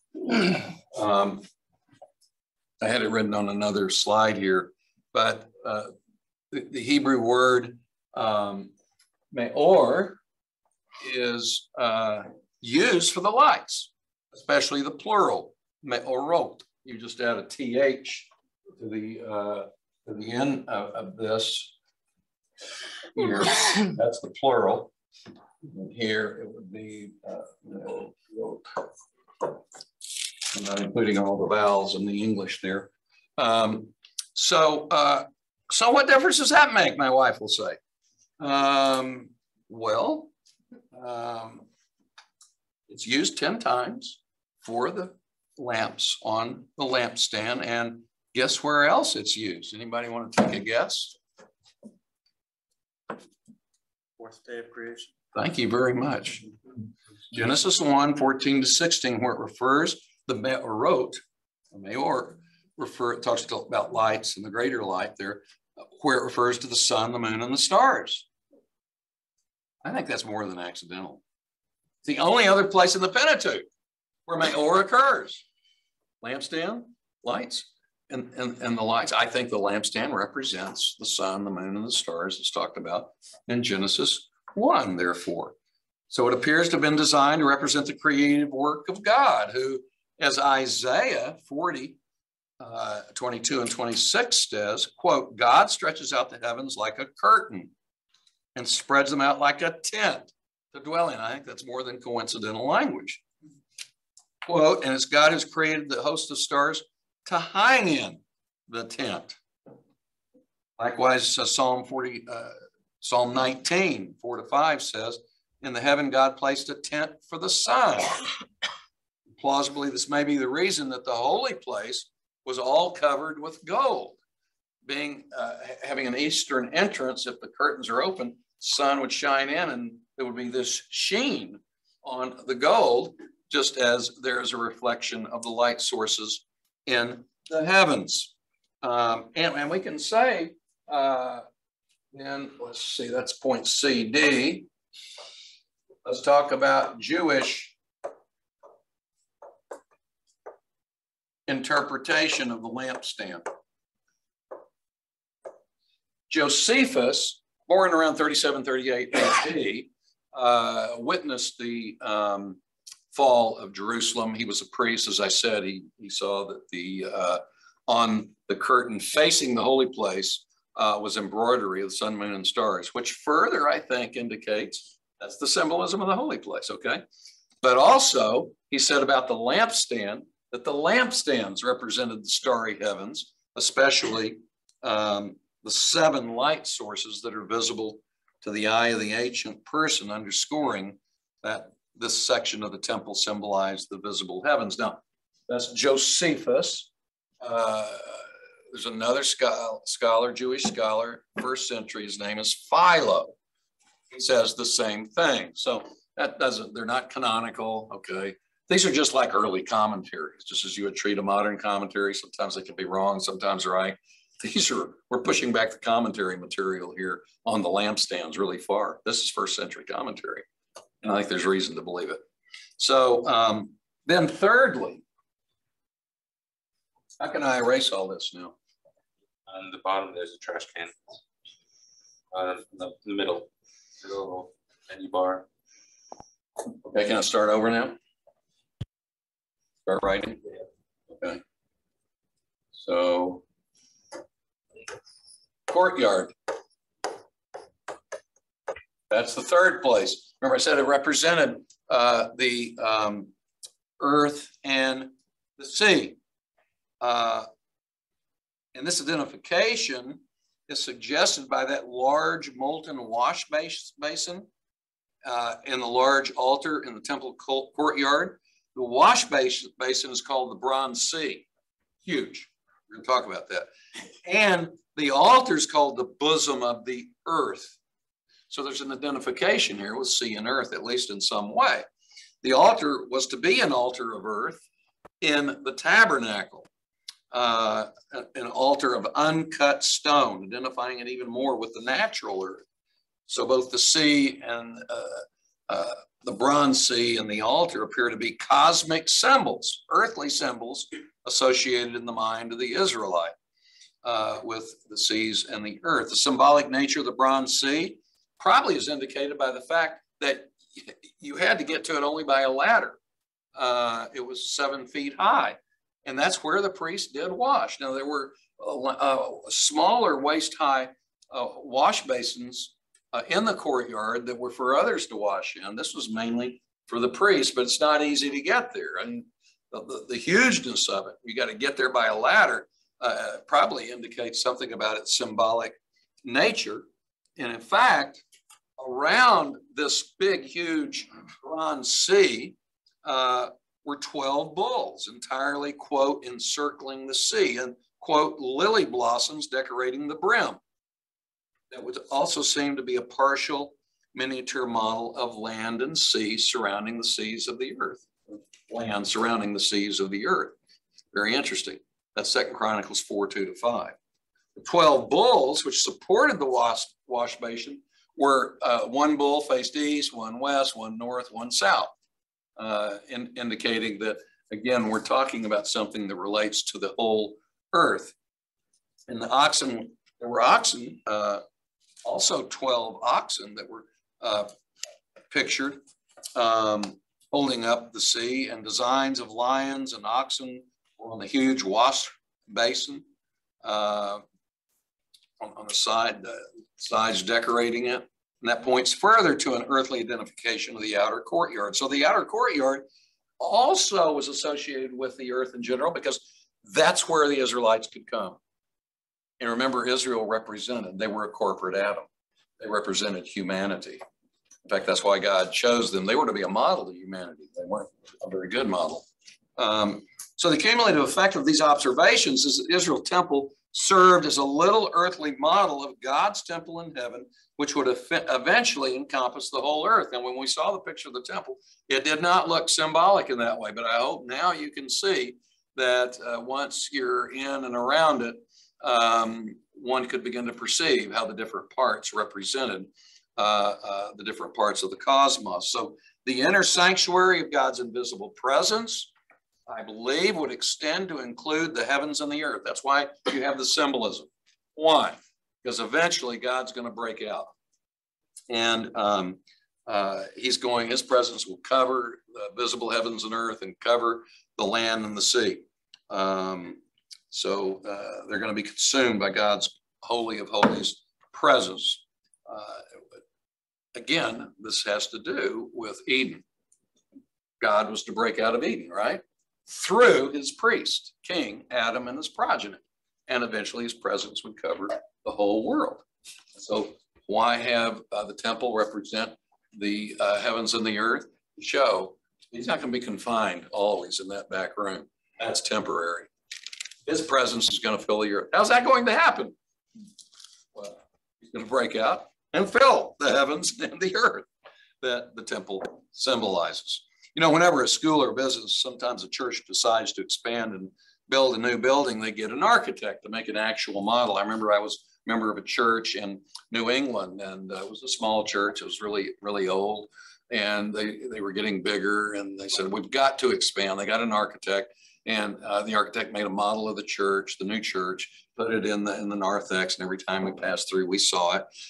Never once did I or my wife think, "Oh, this guy's a great model maker." Never once did we just look at that as a model in and of itself. This is a model that pointed beyond itself. It pointed to expansion, and um, and so you would you, you, saw the sanctuary, you saw the parking lot, bushes, Sunday school rooms, a fellowship hall, it was, you know, all there. So you could look at that little model. You never said, oh, well, that's a neat model. Now, usually you looked at it, wow, that's going to be, that represents the expansion of uh, uh, our church. And, and that's what the temple represented. It was a small scale model, symbolic reminder to Israel of the task God wanted them to carry out. Same task that Adam should have carried out, but did not. Israel was to carry out. Um, they did not subdue the earth and expand the local boundaries of the temple. Uh, they were to have done that, spread his presence. And very interesting, the land of promise is uh, not unusually called the Garden of Eden. Um, Genesis 13, 10, Isaiah 51, 3, Joel 2, 3, Ezekiel 36, 35. Why would it be called the Garden of Eden? Because probably this idea of expansion. Um, It's, it, it- Israel has something to do with the Garden of Eden. They were to be having the mantle of Israel. They were to expand. And um, they were to be the Garden of Eden that would be expanded. Now, um, there's some very important passages here. Our question and answer time, unfortunately, will be filled with uh, me finishing this lecture. We can still have questions and answers if the remnant wants to remain afterward. So, um, here.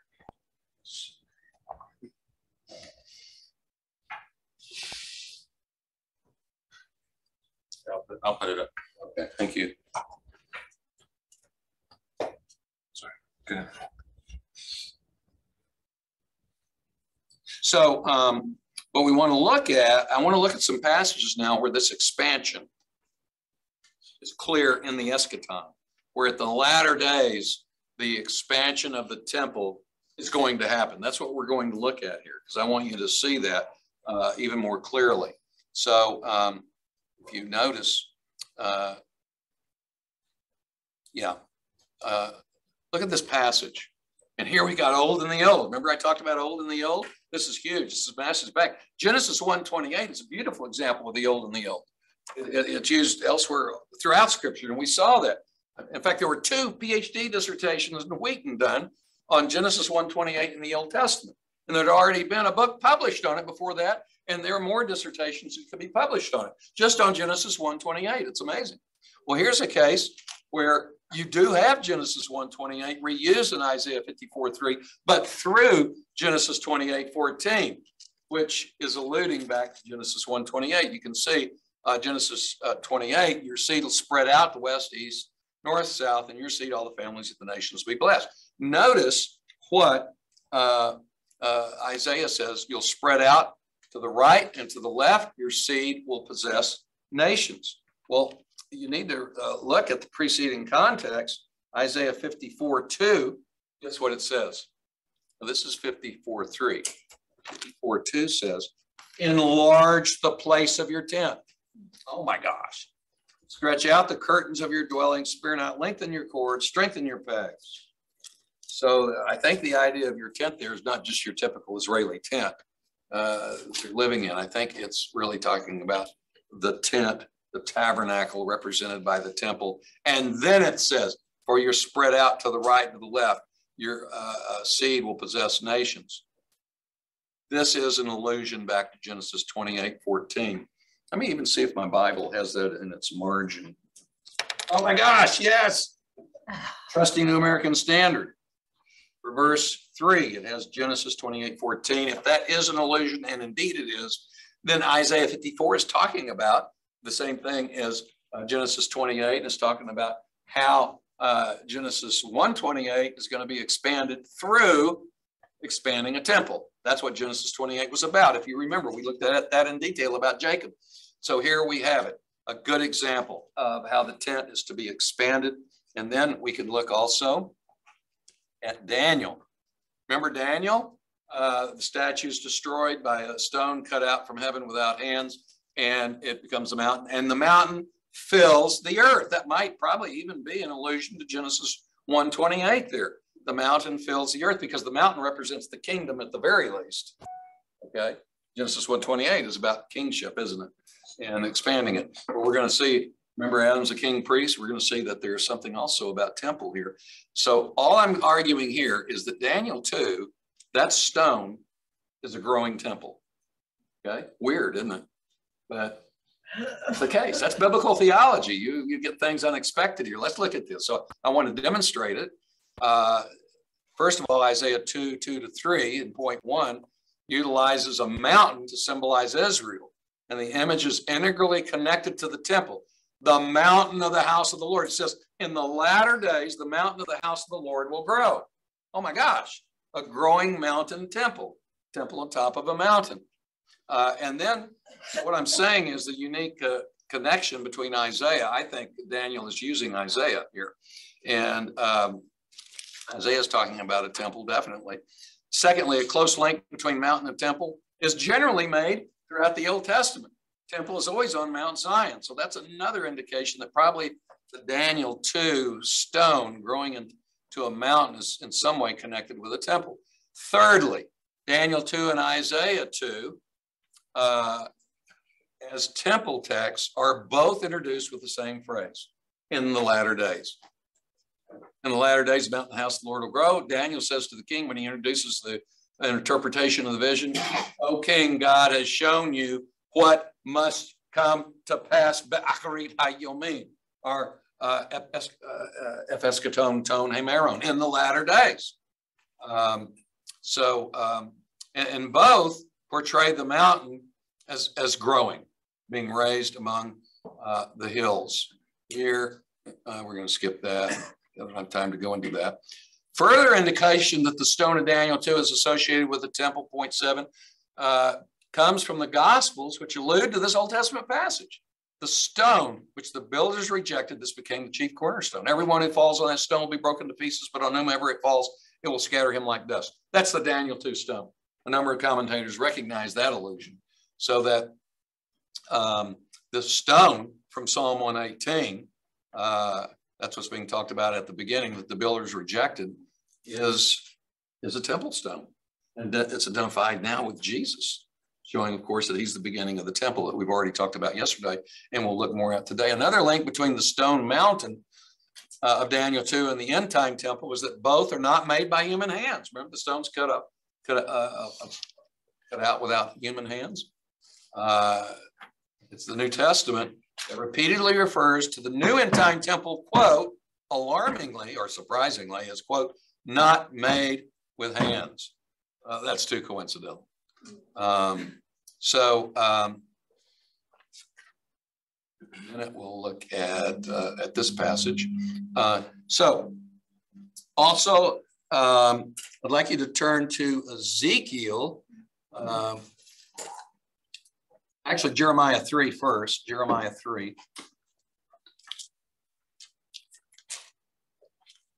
And then we're going to see Genesis 128 and temple expansion. What I'm trying to do is to show you, hey, there really is this idea of expansion. Okay, this is not just some weird uh, notion that commentators or I have come up with.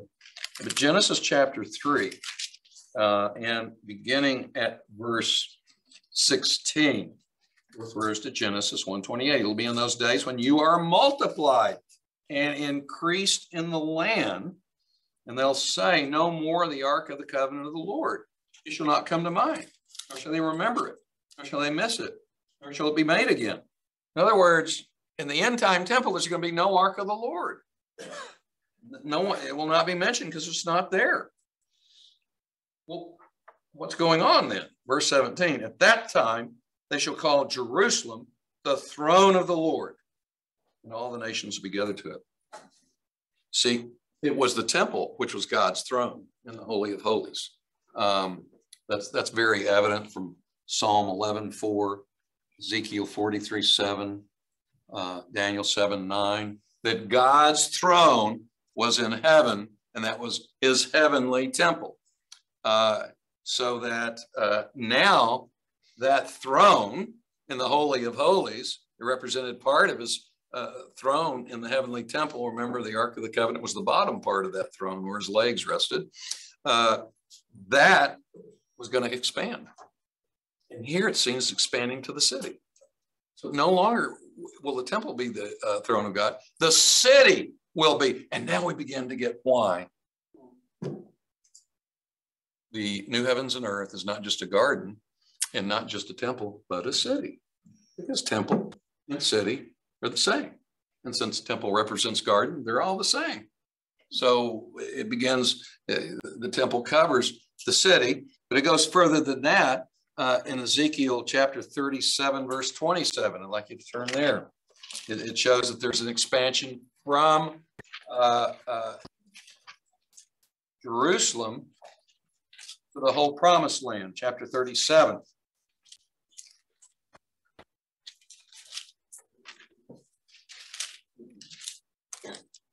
And we'll look at verse 25 first. Uh, and they will live on the land that I gave to Jacob, my servant, which your fathers lived. They'll live on it, they and their sons, their sons' sons forever. David, my servant, shall be their prince. So they're going to live on the land. This is the promised land. Now notice, verse 27. Uh, well, the end of verse 26 says, I will set my sanctuary in their midst forever. Verse 27, my dwelling place will be with them. Now, in Hebrew, that with them uh, really should be, I think, translated over them. Literally, my dwelling place also will be over them, and I'll be their God. They will be my temple. Uh, it's Alehim, Alehim, uh, all plus them, him uh, over them. Probably not just with them. That's too general. Over them. What does it mean? The tabernacle will be over the whole promised land because verse 25 has said uh, they'll live on that land. So his his his tabernacle will be extended. It'll be over that whole land. And um, finally, I want you to turn to Zechariah chapter 1. Zechariah 1.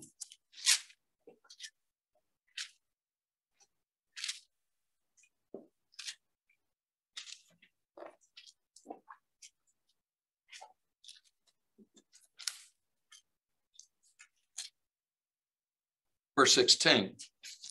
Therefore says the Lord, I'll return to Jerusalem with compassion. My house will be built in it, declares the Lord of hosts. And a measuring line will be stretched over Jerusalem.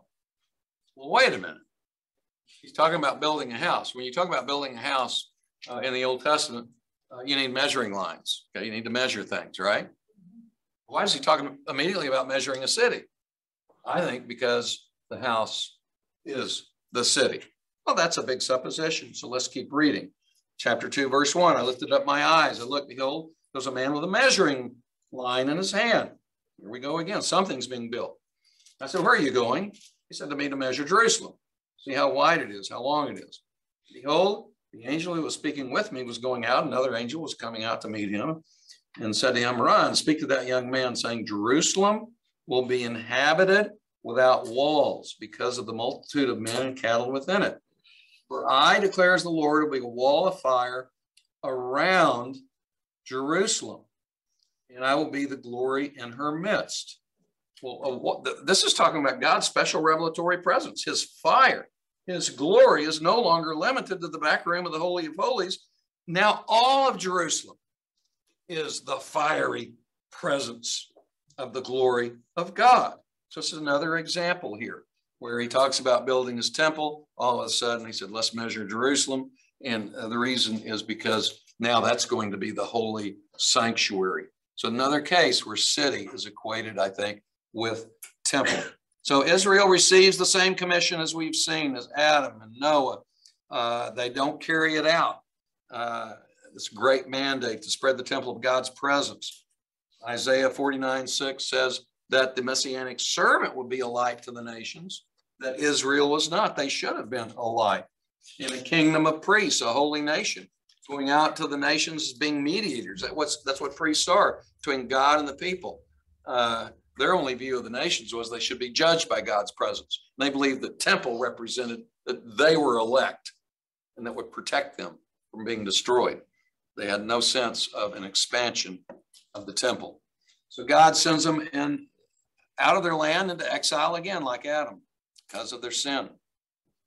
He starts the process of temple building all over again, but this time he plans that the local spiritual boundaries of all the past temples of Eden, Noah's Ark, Israel's temple would, would be expand, expanded finally to encompass the whole earth.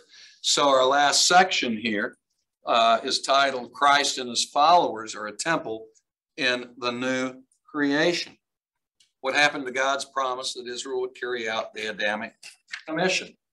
Christ does it, and we do it in him. Just to give you a little uh, tip of the iceberg on that, Colossians 1, 6, and 10 applies Genesis 1, 28 to believers. Now, the reason it does is because chapter 1 and verse 15 says that Christ is the image of God.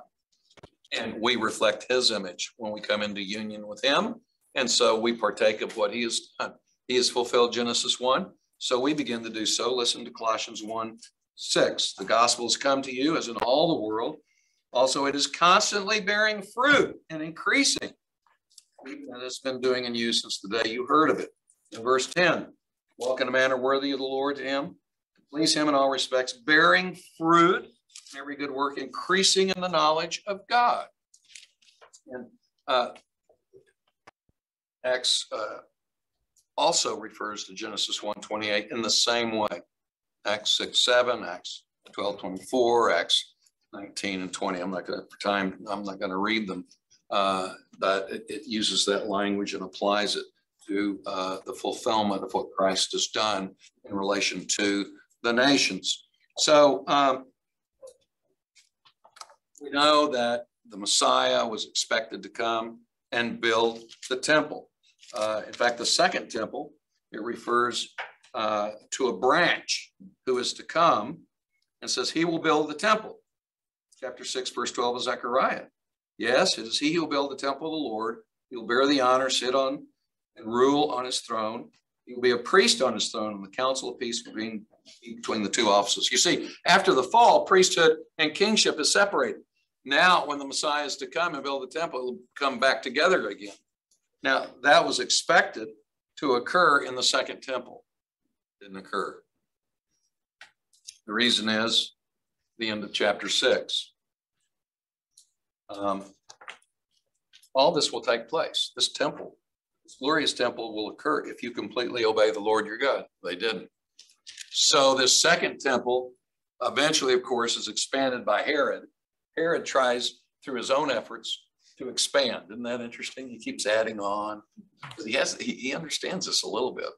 And uh, but then it's torn down in 70 AD. So that temple, that second temple, was becomes a foreshadowing uh, of another temple of the branch who will come, who will build the temple and, and, and referring to the Messiah.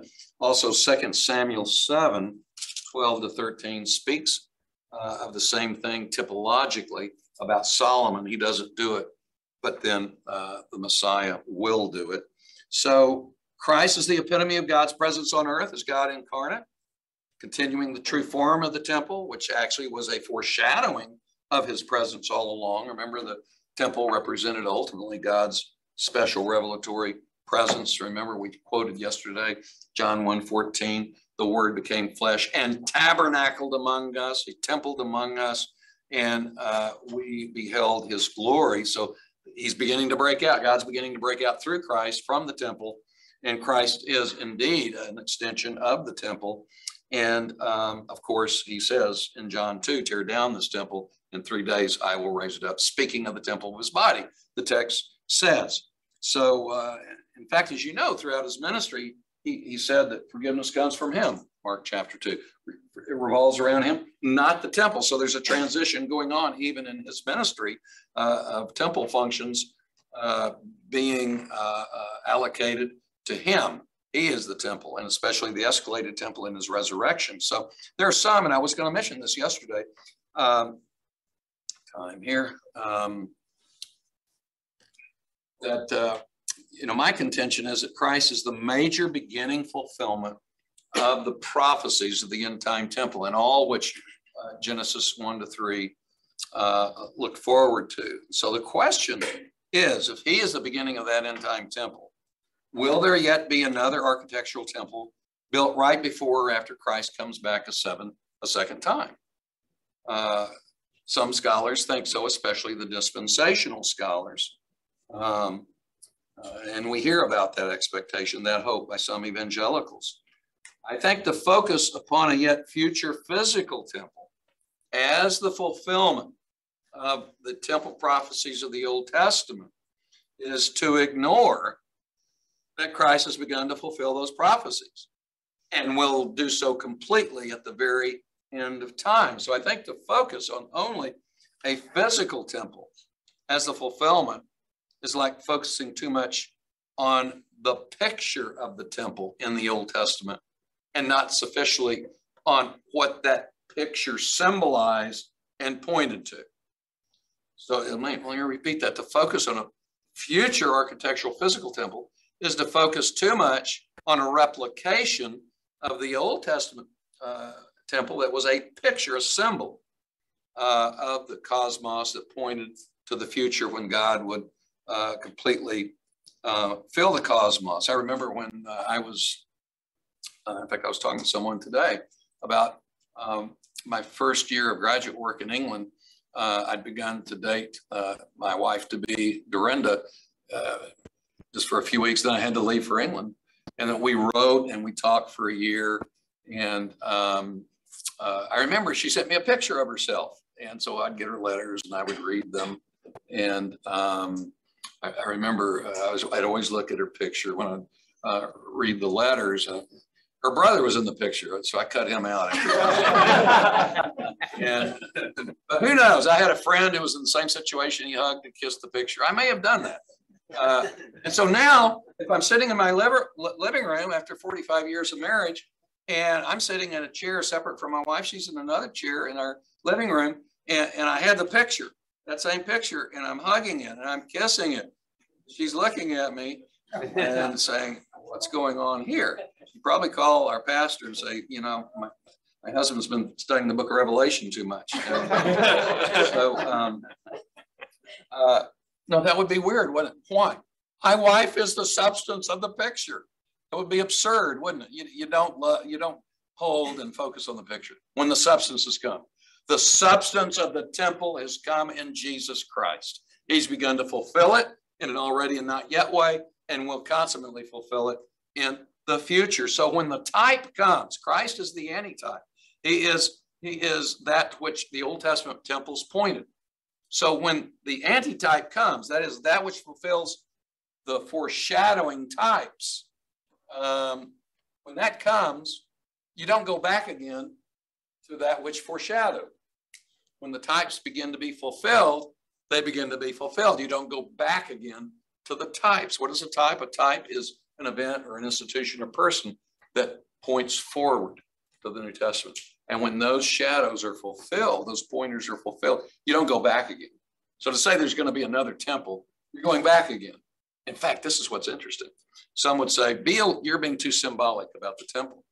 And um, it's very interesting that Hebrews 9 um, and uh, verse 11 says something very interesting about the Old Testament temples. Chapter 9,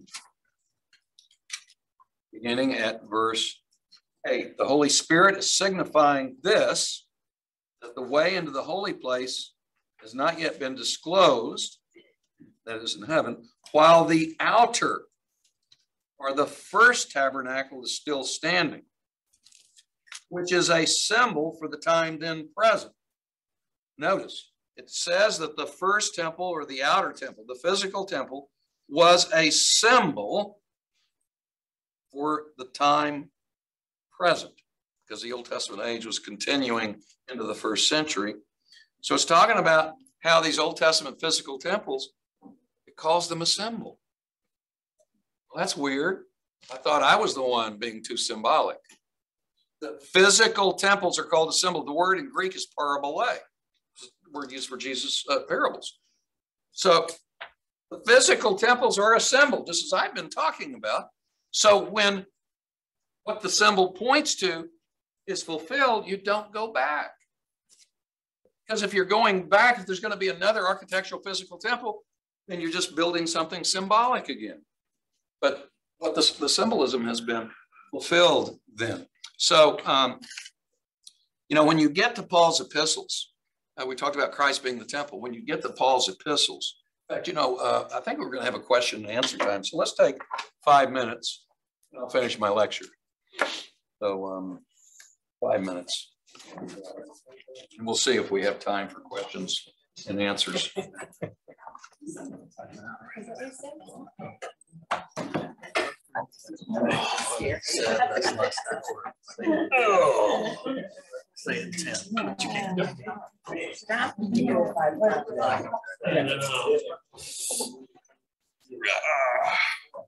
ten. That's a lot of detail. It's true. This study. Yeah. Yeah.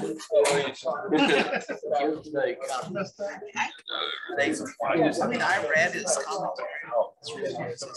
Don't ruin it, hon. Especially the one on the shorter one. It is finished me. That was a good, good example. Substance. It was six thirty and looked at my, Cause it- I was like, I really got this thing.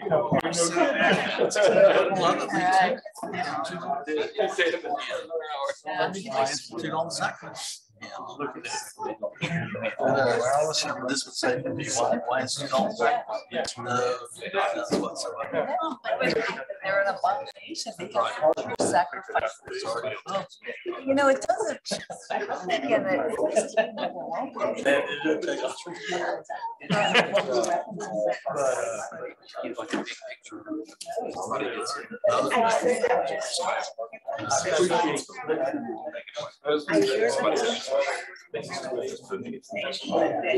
Supposedly the, um, the Church of Ethiopia says they have the.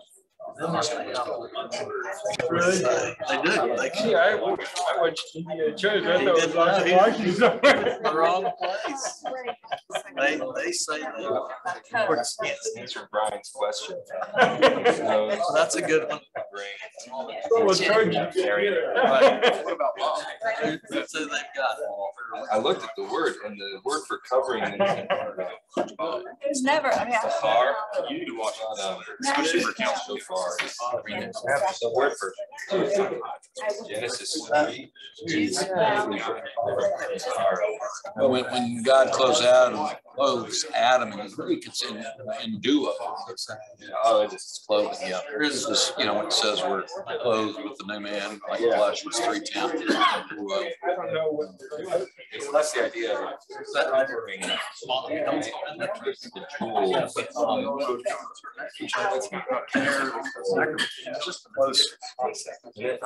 This is twenty.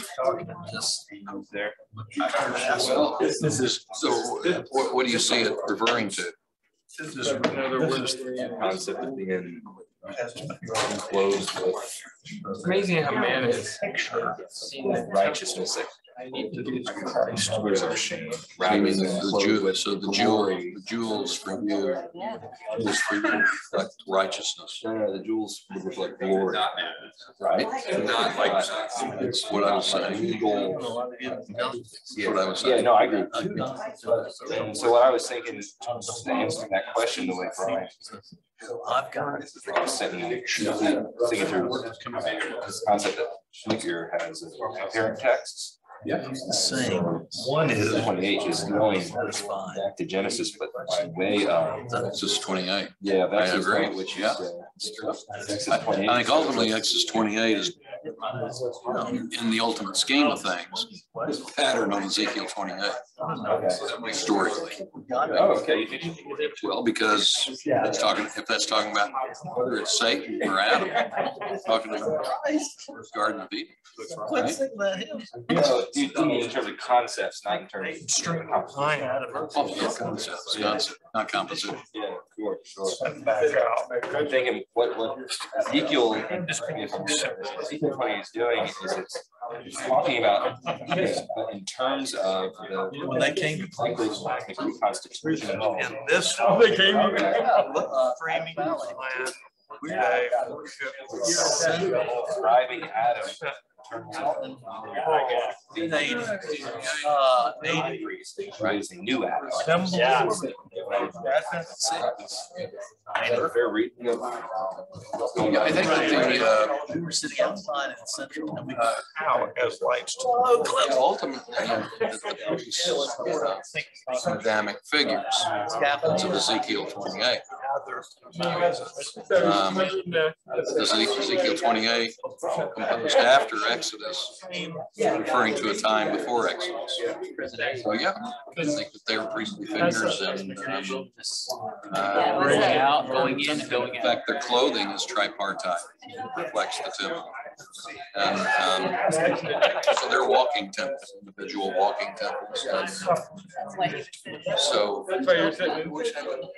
That's part of the background, that only corporate temples, Set, they set up. even individual or temples. Or Adamic figures. Our OTBT class here and in the Pentateuch class too, he opens up on it. It's all, vernacular prefigures. There's the, there's a, can't quite see it. the high priest The uh, speaker. and the temple is a new cosmos. Like a. Maybe we should catch. That's not the Lord. This is morality. I mean, I'm, I don't want to impute any of my weaknesses. Where I was kind of drawing that thought, line of thought. No, I-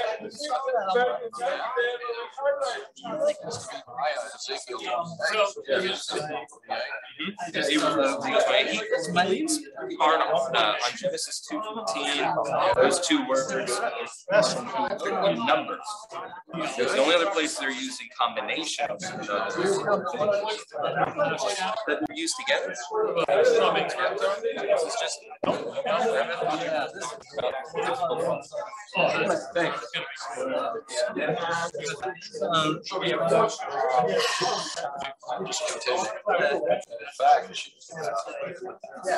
They built both of them.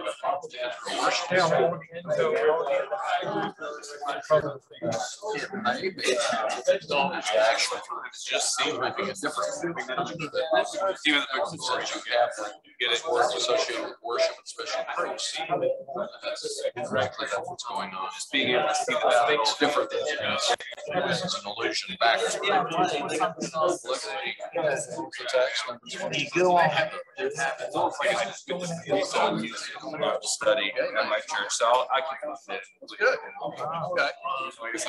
Find it, let me know. That was not it with the sky rock. I'm glad you saw that. I'm like, where did the tall buildings come from? The earthquake of ninety. One of those was it.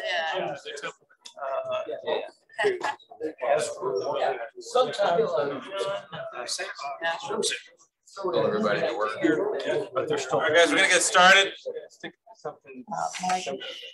Okay, uh, I'm gonna try to finish this. It's gonna take about thirty minutes, and I, I have been told that actually uh, this event is scheduled until twelve thirty. I, I didn't realize that, and uh, uh, I think the schedule leaves that open. Um, says uh, uh, question and answer after eleven fifteen. So I'm gonna try to finish. So what we found was, you know, when you come, we said, uh, yes, Jesus is the temple. He's the beginning temple.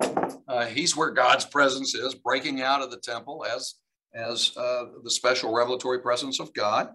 And when you get to Paul, like 1 Corinthians 3.16, do you not know that you're the temple of God, the Spirit of God dwells in you? Or 2 Corinthians, uh, or 1 Corinthians 6.19, do you not know your body's a temple of the Holy Spirit? Or 2 Corinthians 6.16, for we are the temple of the living God. And, um, and so on. Uh, he just assumes the church is the temple. Where, where did the church become the temple? Where, where was the commencement? Anybody want to take a guess on that one? Where do you think it, it commenced? Very beginning, because Paul's just assuming they're, they're already, uh, the people of God are already a temple. Pentecost, I love it. Why do you say that? the dwelling of the Holy Spirit. Okay, the dwelling of the Holy Spirit. It is where the Spirit comes down, it rests upon them.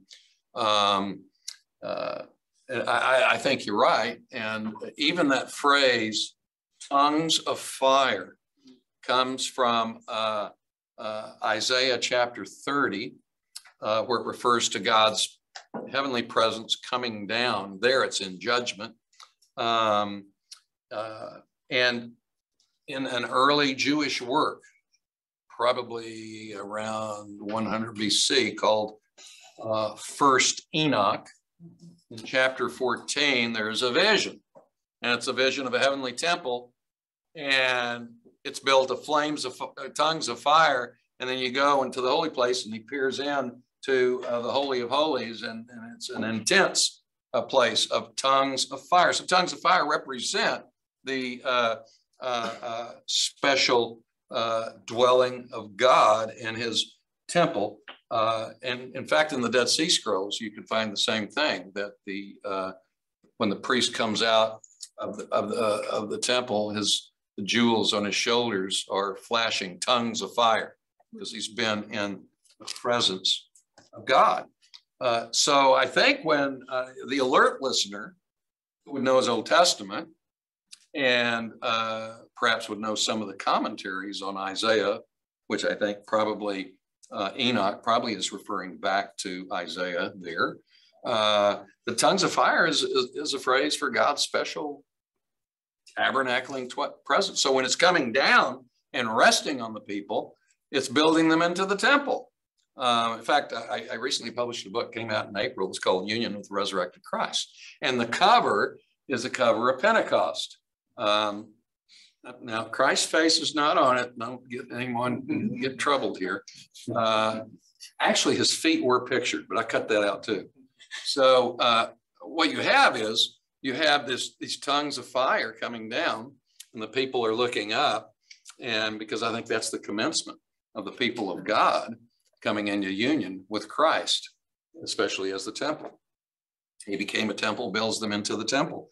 So I think that's the inception of it. And of course, we talked about lampstands, haven't we? We talked in chapter 11 about how the church is the temple and the lampstands represent uh, the church being the temple. So uh, Christ perfectly obeys and expands the boundaries of the temple from himself to others. What's the torn veil significance? What's going on there? I think so. God's break. I think it's symbolic. God breaking out of the temple, and I believe it's in Mark or Matthew, where immediately where it mentions a torn veil, a Gentile centurion comes to know the Lord. Wow, breaking out to the Gentiles. It's amazing. And so uh, that that is really crucial. And, and, and, I mentioned to you that I thought the Great Commission uh, had to do with temple. And so uh, let's look at that. By the way, before we do that, just, just a comment here on, on Second Corinthians. Uh, come out from their midst, be separate, says the Lord, do not touch what is clean. Um, let me go to the first one. Um, I will dwell with them, I walk among them, I'll be their God. And that's dependent on two texts. Leviticus 37 is alluding back to Leviticus, or Ezekiel 37, referring back to Leviticus 26, where it says, I'll set my sanctuary in their midst and my dwelling place also will be, remember, over them, not with them, and I'll be their God. And that's fulfilled, uh, where it says, You're the temple of the dwelling God. Then you get this quotation, as God said, as He prophesied, I'll dwell in them, walk among them, I'll be their God, and they'll be my people. What's interesting is the literal interpreter here, uh, which are sometimes dispensational interpreters. What do I mean by dispensational? Let me give the bottom line of dispensational. The church and Israel are not the same. So the church has got to be raptured for, Israel to be saved again in the tribulation at the end. Okay. So church and Israel are not the same. And so they would say here, church can't be the temple because it's yet to come. Because they conceive of a temple only as a physical temple. Church can't be the temple. This text says that the Old Testament is being fulfilled in the church. So, and it's because it's the Holy Spirit. It's not an architectural thing anymore. It wasn't an Eden either, was it? No. In fact, when the temple's torn down, the first one, uh, Ezekiel 11 says, I'll be a sanctuary for you in the exile. Well, that wasn't an architectural temple. Um, so uh, this is beginning fulfillment. The literalist says this has to be metaphorical. The church is like a temple. I call that the likeness hermeneutic, which is very interesting. I'm often accused of taking things too symbolically. Here, um, yes, I do take it symbolically, but uh, uh, really, I just take it literally. This this prophecy is literally fulfilled. Uh, I, I, walk among you, your God, and here it's fulfilled. It's, it's, it's the invisible tabernacling presence of God. But the dispensationalist says, no, this can't be the fulfillment because this is talking about a physical temple. So this is really saying they're like a temple. There's a big difference between like a temple and really being a temple. It divides a covenant theologian, the likeness hermeneutic divides a, a covenant theologian from the dispensational. And then we have the next prophecy, also from Isaiah, uh, in Second Corinthians, come out from their midst, be separate, says the Lord.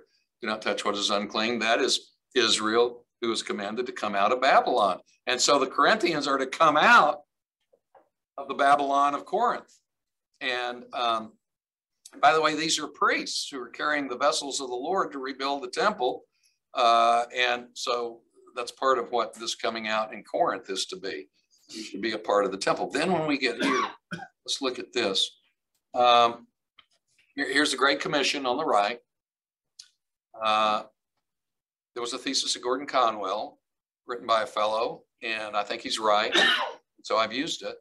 I footnoted it in my uh, Temple and Church's Mission book. He says, the Lord, the God of heaven, has given me all the kingdoms of the earth. Okay, that's Cyrus.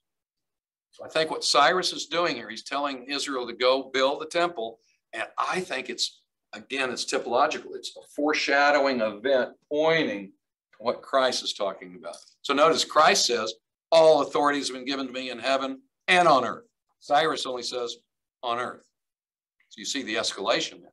In typology, you always have an escalation. Okay. John 19, Jesus is a lamb. That's from Exodus 12. So he's not an animal anymore, is he? No, he's the Lord God. You have escalation. So then notice uh, at the end, Cyrus says, May the Lord his God be with him. And look at this I am with you. And then Cyrus commands them, Go up. And here in verse 19, go. So I think we have a number of allusions here that are um, very uh, important and uh, that go back to Second Chronicles. Why do they do that? To show that this event of Cyrus is foreshadowing what Jesus is doing. If it is, this is a temple building event. Because notice what's he telling him to do? Notice the middle green part. Build him a house in Jerusalem. What does that correspond to in the Great Commission? I think it corresponds to making disciples and baptizing. That's how the temple is built. That's how the temple expands now. As more and more people are added to the temple, more and more image bearers are reflecting the image of God. Now, that's not going to happen perfectly until that'll never happen perfectly until the end. I'm not a postmillennialist. Some think that I am after reading my book. I don't think this is saying, oh, there's going to be a golden age where this finally perfectly happens. No, I just don't think it'll happen. Christ will come and uh, he'll bring it to a completion himself uh, in the new heavens and in the new earth. Um, but uh, what I wanted to say, who has the Nessalon Aland 28? There's got to be someone who has the Nestle Aland Greek text 28th edition. Anybody have that? Because I, because of baggage, I only had carry on and didn't bring my Greek text. Okay, let's see here. I'm gonna pull it up real, real quickly here. Um,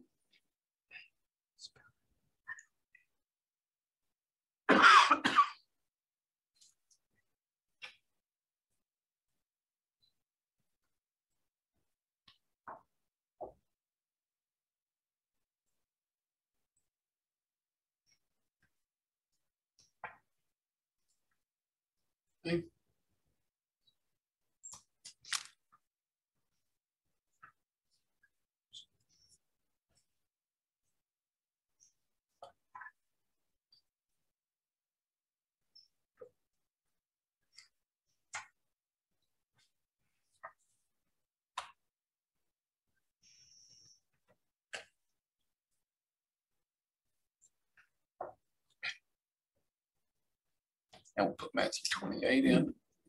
Just one moment.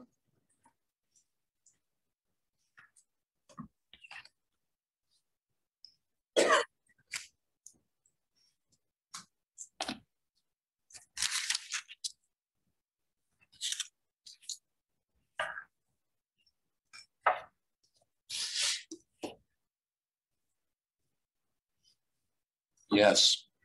Um, let me let me expand this.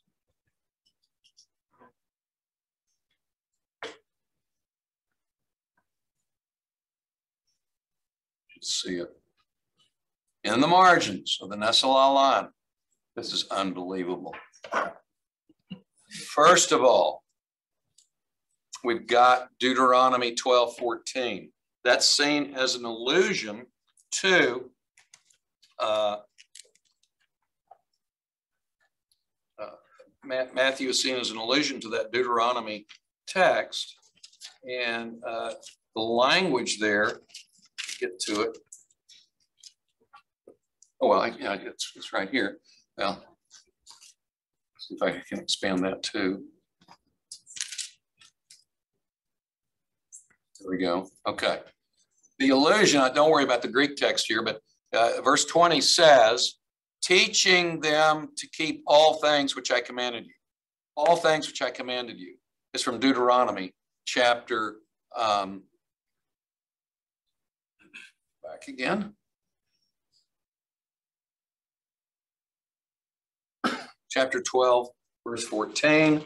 I'm just going to um, read that briefly just to show you the context, 12, 14, how important. This is an allusion again. You got you would only find in the margin. Uh, 14 says, God says, uh, verse 13, be careful you do not offer your birth offerings in every cultic place you see, but in the place which the Lord your God chooses, in one of your tribes, there you shall offer your burnt offerings, and there you shall do all that I commanded you, all things that I commanded you. And that is repeated in Second Chronicles 33 8. It's a temple context. So doing all things that I commanded you has to do with things that pertain to the temple in Deuteronomy and in the context ultimately in Chronicles. And then notice too, Haggai 113. What's that about? First of all, it's very difficult to find Haggai. We're going to try. All right, I got it. Haggai 113. And what's Haggai about, by the way? Rebuilding the temple, right? Amazing. All right. 113, Haggai, the messenger of the Lord, spoke by the commission of the Lord by this by, by saying, I am with you. Well, he's with them with regard to what? Um, so, by the way, Nestle Aland sees that I am with you as a reference back to Haggai. As you saw, I think it's also a reference back to um, the Cyrus Commission. Could be to both. And, he says, So the Lord stirred up the spirit of Zerubbabel, son of Shealtiel, governor of Judah, and the spirit of Joshua, son of Jehozadak, the high priest, and the spirit of all the remnant of the people to do what? They came and worked on the house of the Lord of hosts, their God. So this I am with you is I'm going to empower you to build the house of the Lord. And um, and that's really what the I am with you was about in the Cyrus Commission, too. The Lord your God is with you. And likewise, uh, in, in Zerubbabel, uh, in, in, the, in the context of Haggai 2, um, the I am with you is, um, is repeated. Um, verse 5 is for the promise which I made when you came out of Egypt, my spirit is abiding in your midst do not fear. Well, what's this about? Well, he says, I'm going to fill this house with glory. Verse 7. So again, this I am with you in this context, back to Haggai, uh, repeated actually uh, twice, um, is uh, a reference to God being with them in building the temple. And so this, this reference here, uh, back to passage. Um, this reference on the right part of the column, you can see then how the marginal references to Deuteronomy and to Haggai support this and further fill it out that this is about temple building. This is amazing.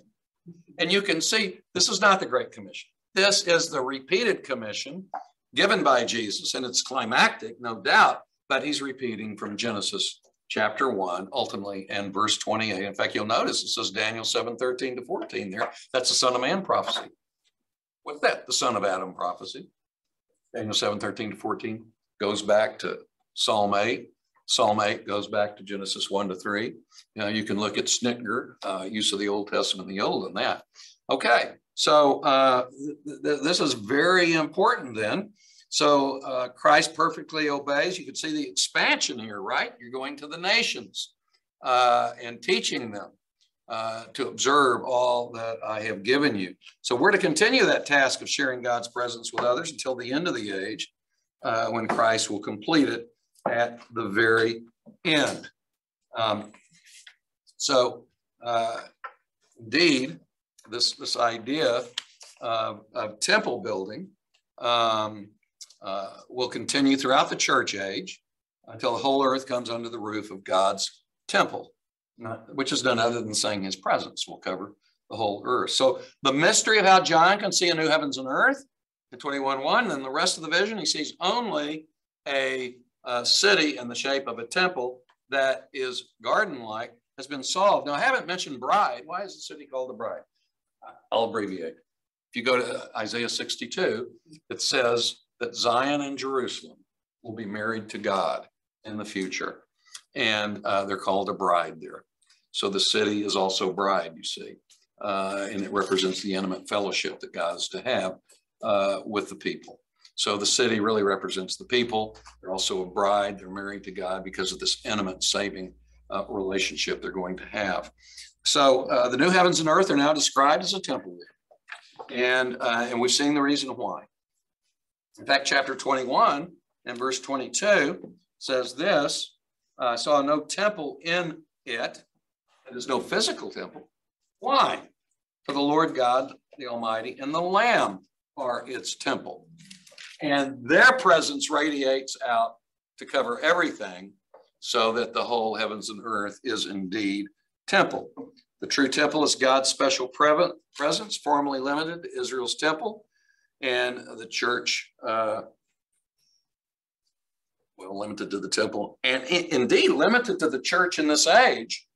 And then it'll be expanded to the whole heavens and earth in the new uh, heavens and earth.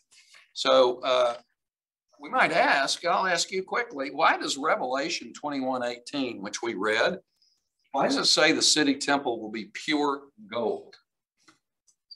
You know, it says there, uh, uh, and the material of the wall was jasper. The city was pure gold, like clear glass. Yeah, why would it be gold? Why would the uh, the city be gold here? I think it's because because of time. I'll answer my question. I think it's because the entire holy of holies of Israel's temple uh, and the holy place was paved with gold, ceiling, walls, bottom, and what's happened now is that's expanded out to the whole earth, fig- figuratively speaking. Okay, it's a figurative way of saying whole temple is expanded to the whole earth. It's got to all be gold now the Holy of Holies and the holy place has expanded. And, and you'll notice as we read this, three sections of the temple aren't mentioned.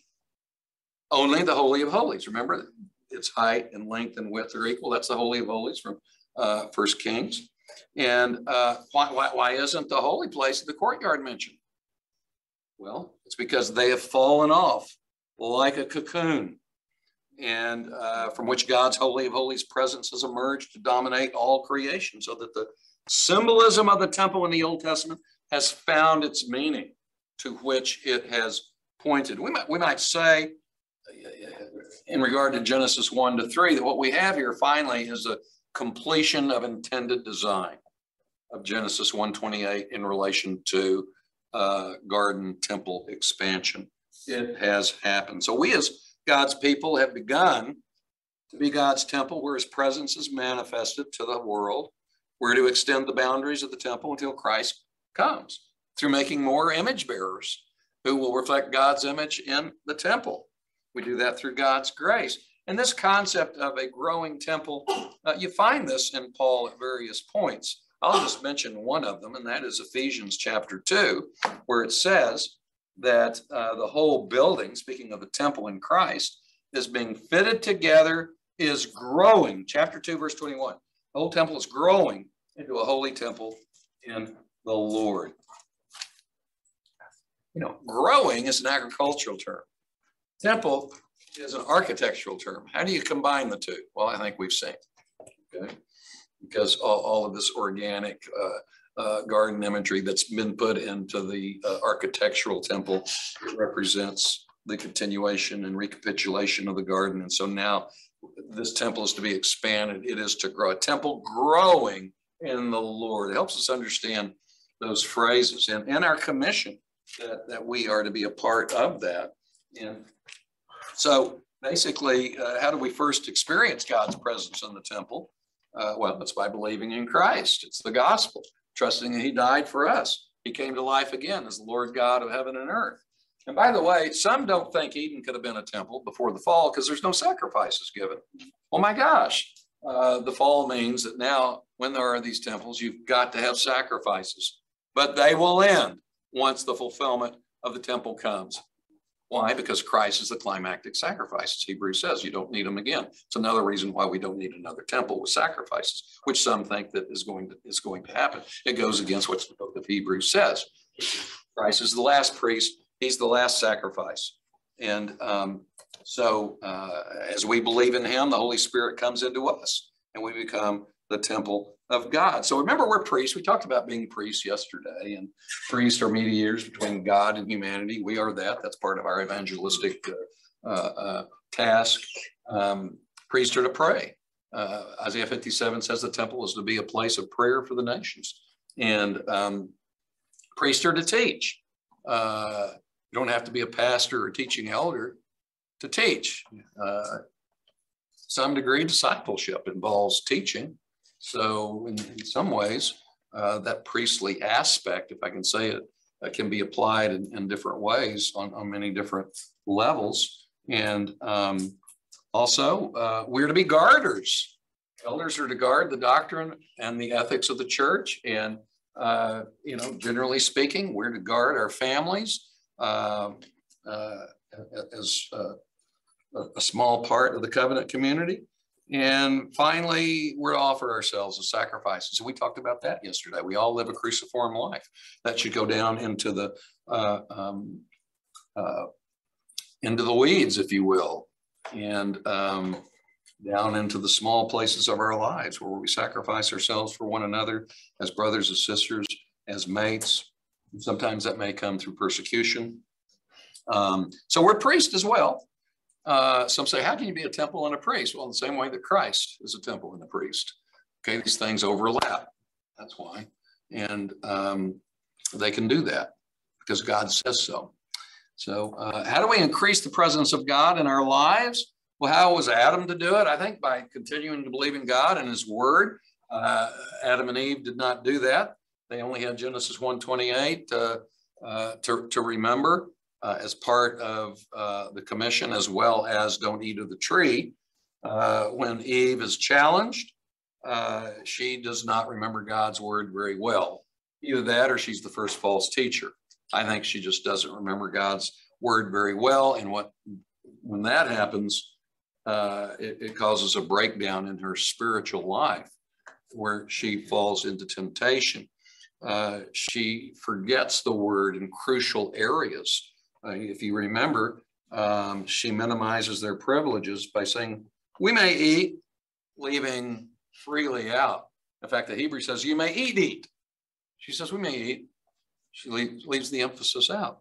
Um, she also uh, minimized the judgment by saying, uh, lest you die, when she quotes God. God did not say, lest you die.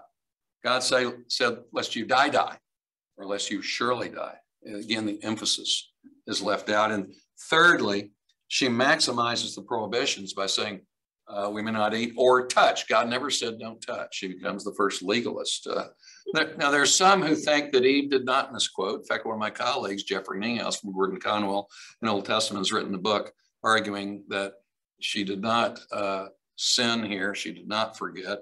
And so I've responded to him in my book, uh, uh, Union with the Resurrected Christ uh, where I found it uh, important to go back to Genesis 1 to 3.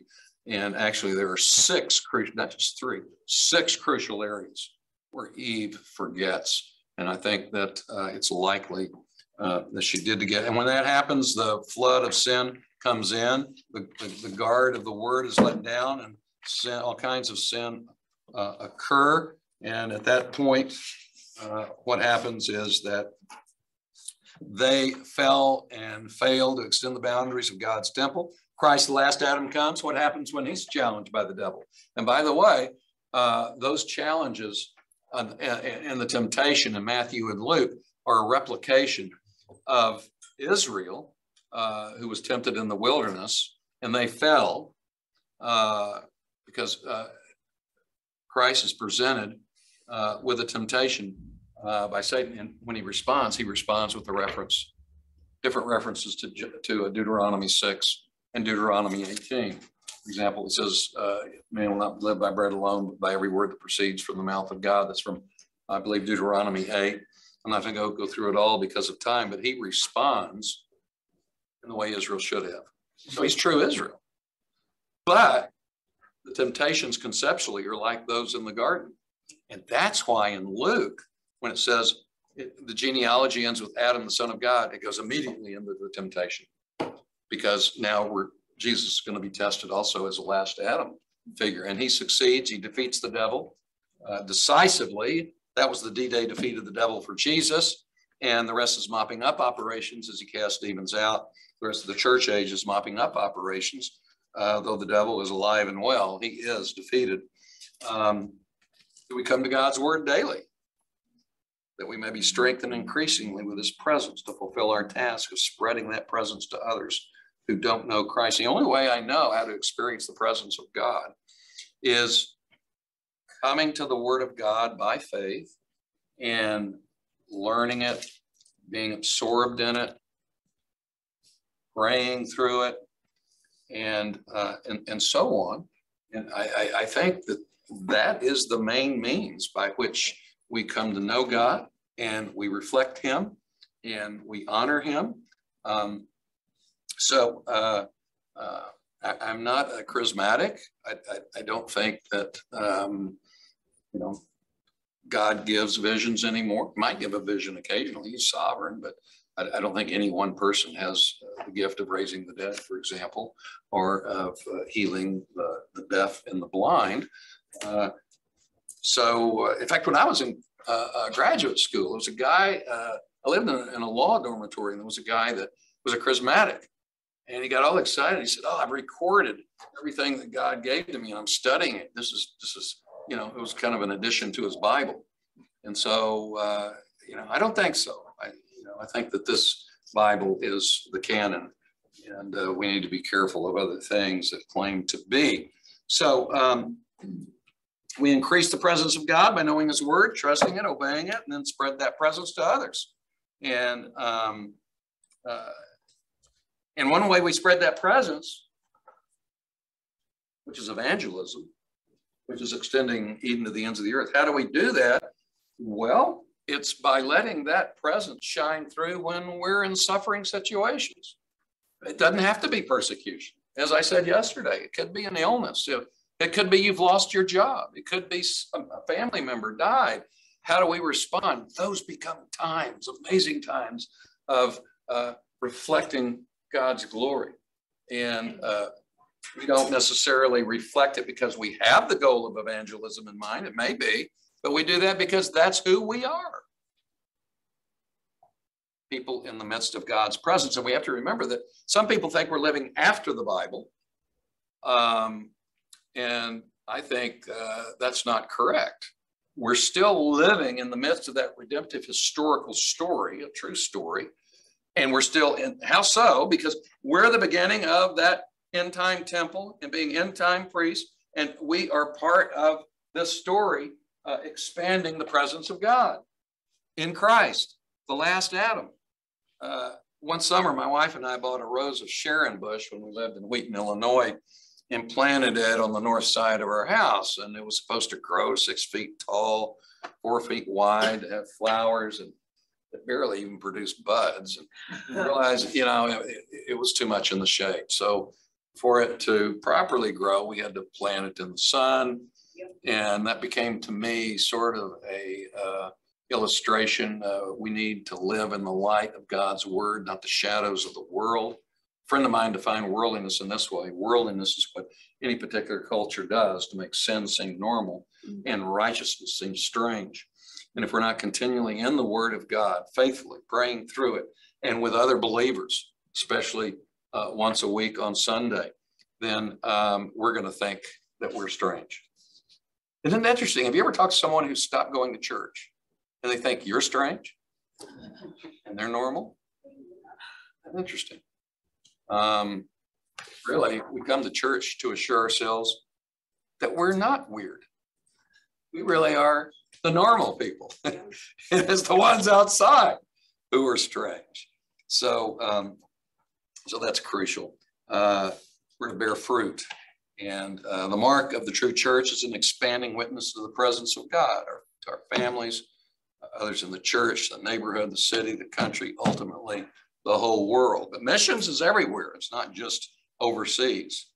May God give us grace to go into the world as his extending temple, spread God's presence by reflecting it till it finally fills the earth, as it will according to Revelation 21. And then that Jeremiah 3 text will be fulfilled. It says in the end time, people will say, quote, no longer the ark of the Lord in Israel's old temple. It'll never enter in their minds and be remembered. Why? Because the end time temple, which it points, has expanded to the whole heavens and the whole earth. Individual Christians and those in local churches and as a part of Christ Church elsewhere need not merely share our lives and God's word with one another. We need to go out and uh, expand the boundaries of the church so that they will grow. And so uh, the end of this process has come. The main point of what we've been talking about is this. Main point of my Temple and Church's Mission book that our task as a church is to be God's temple. So fill with his glorious presence that we expand and fill the earth with that presence until God finally accomplishes the goal completely at the end of time. This is our common mission. May the church of the 21st century unite in order to attain this goal. Then may the church, the true Israel and true temple experience the priestly blessing pronounced on Israel from the tabernacle. Remember the priestly blessing, we forget this. It's pronounced through the tabernacle as it extends God's tabernacling presence. Remember what it says. Lord bless you and keep you. The Lord make his face shine on you, be gracious to you. The Lord lift up his countenance on you and give you peace. Now notice what Psalm 67 does with that blessing, priestly blessing from the temple. What does Psalm 67 do? It understands that blessing from the book of Numbers to have a worldwide goal, not just to Israel at that time. It says, God be gracious to us and bless us. Genesis 128. Cause his face to shine on us. His presence will be with us. That why? Why? Why would we have God's presence on us? Why would this priestly blessing be upon us? That God's way may be known on the earth. Expansion. Your salvation will be among all nations. Let the peoples praise you, therefore. Let all the peoples praise you. Let the nations be glad. Sing for joy, for you will judge the peoples with uprightness. Guide the nations on earth. Let the peoples praise you, O God. Let all the peoples praise you. The earth has yielded its produce. God, our God, blesses us. God blesses us. Why? At the ends of the earth may fear him. Um, I'm going to show you a hymn that was written, and I think it was written as a result of uh, this teaching that I've been giving. I haven't asked the woman, but I know she was present. And so uh, I have this, and I'm going to read it, and um, you can read it with me uh, uh, as a prayer with our eyes open, if you will. Um, here's uh, what she has written. It was put to music by our, the musician. This was a college church in Wheaton. Uh, by grace, God makes a people. That's pretty small. I am sorry about that. Uh, if you can't see it, just trust me. Um, by grace, God makes people. I don't know if I can expand that. I don't think I can. On the bottom right, there's a slider in the bottom. There you go. Oh my gosh. that. Where, where'd you come from, man? Heaven. Okay. Gonna have to go up. Okay. By grace, God makes a people. Christ claims them as his own, lifts them up through Christ the Savior, Christ the cornerstone. Second stanza. By grace, God builds a people, his own temple pure, standing firm on one Redeemer, one foundation sure. Third stanza. By grace, God sends his Spirit, his Spirit and his Word to fill and fortify this temple built on Christ the Lord.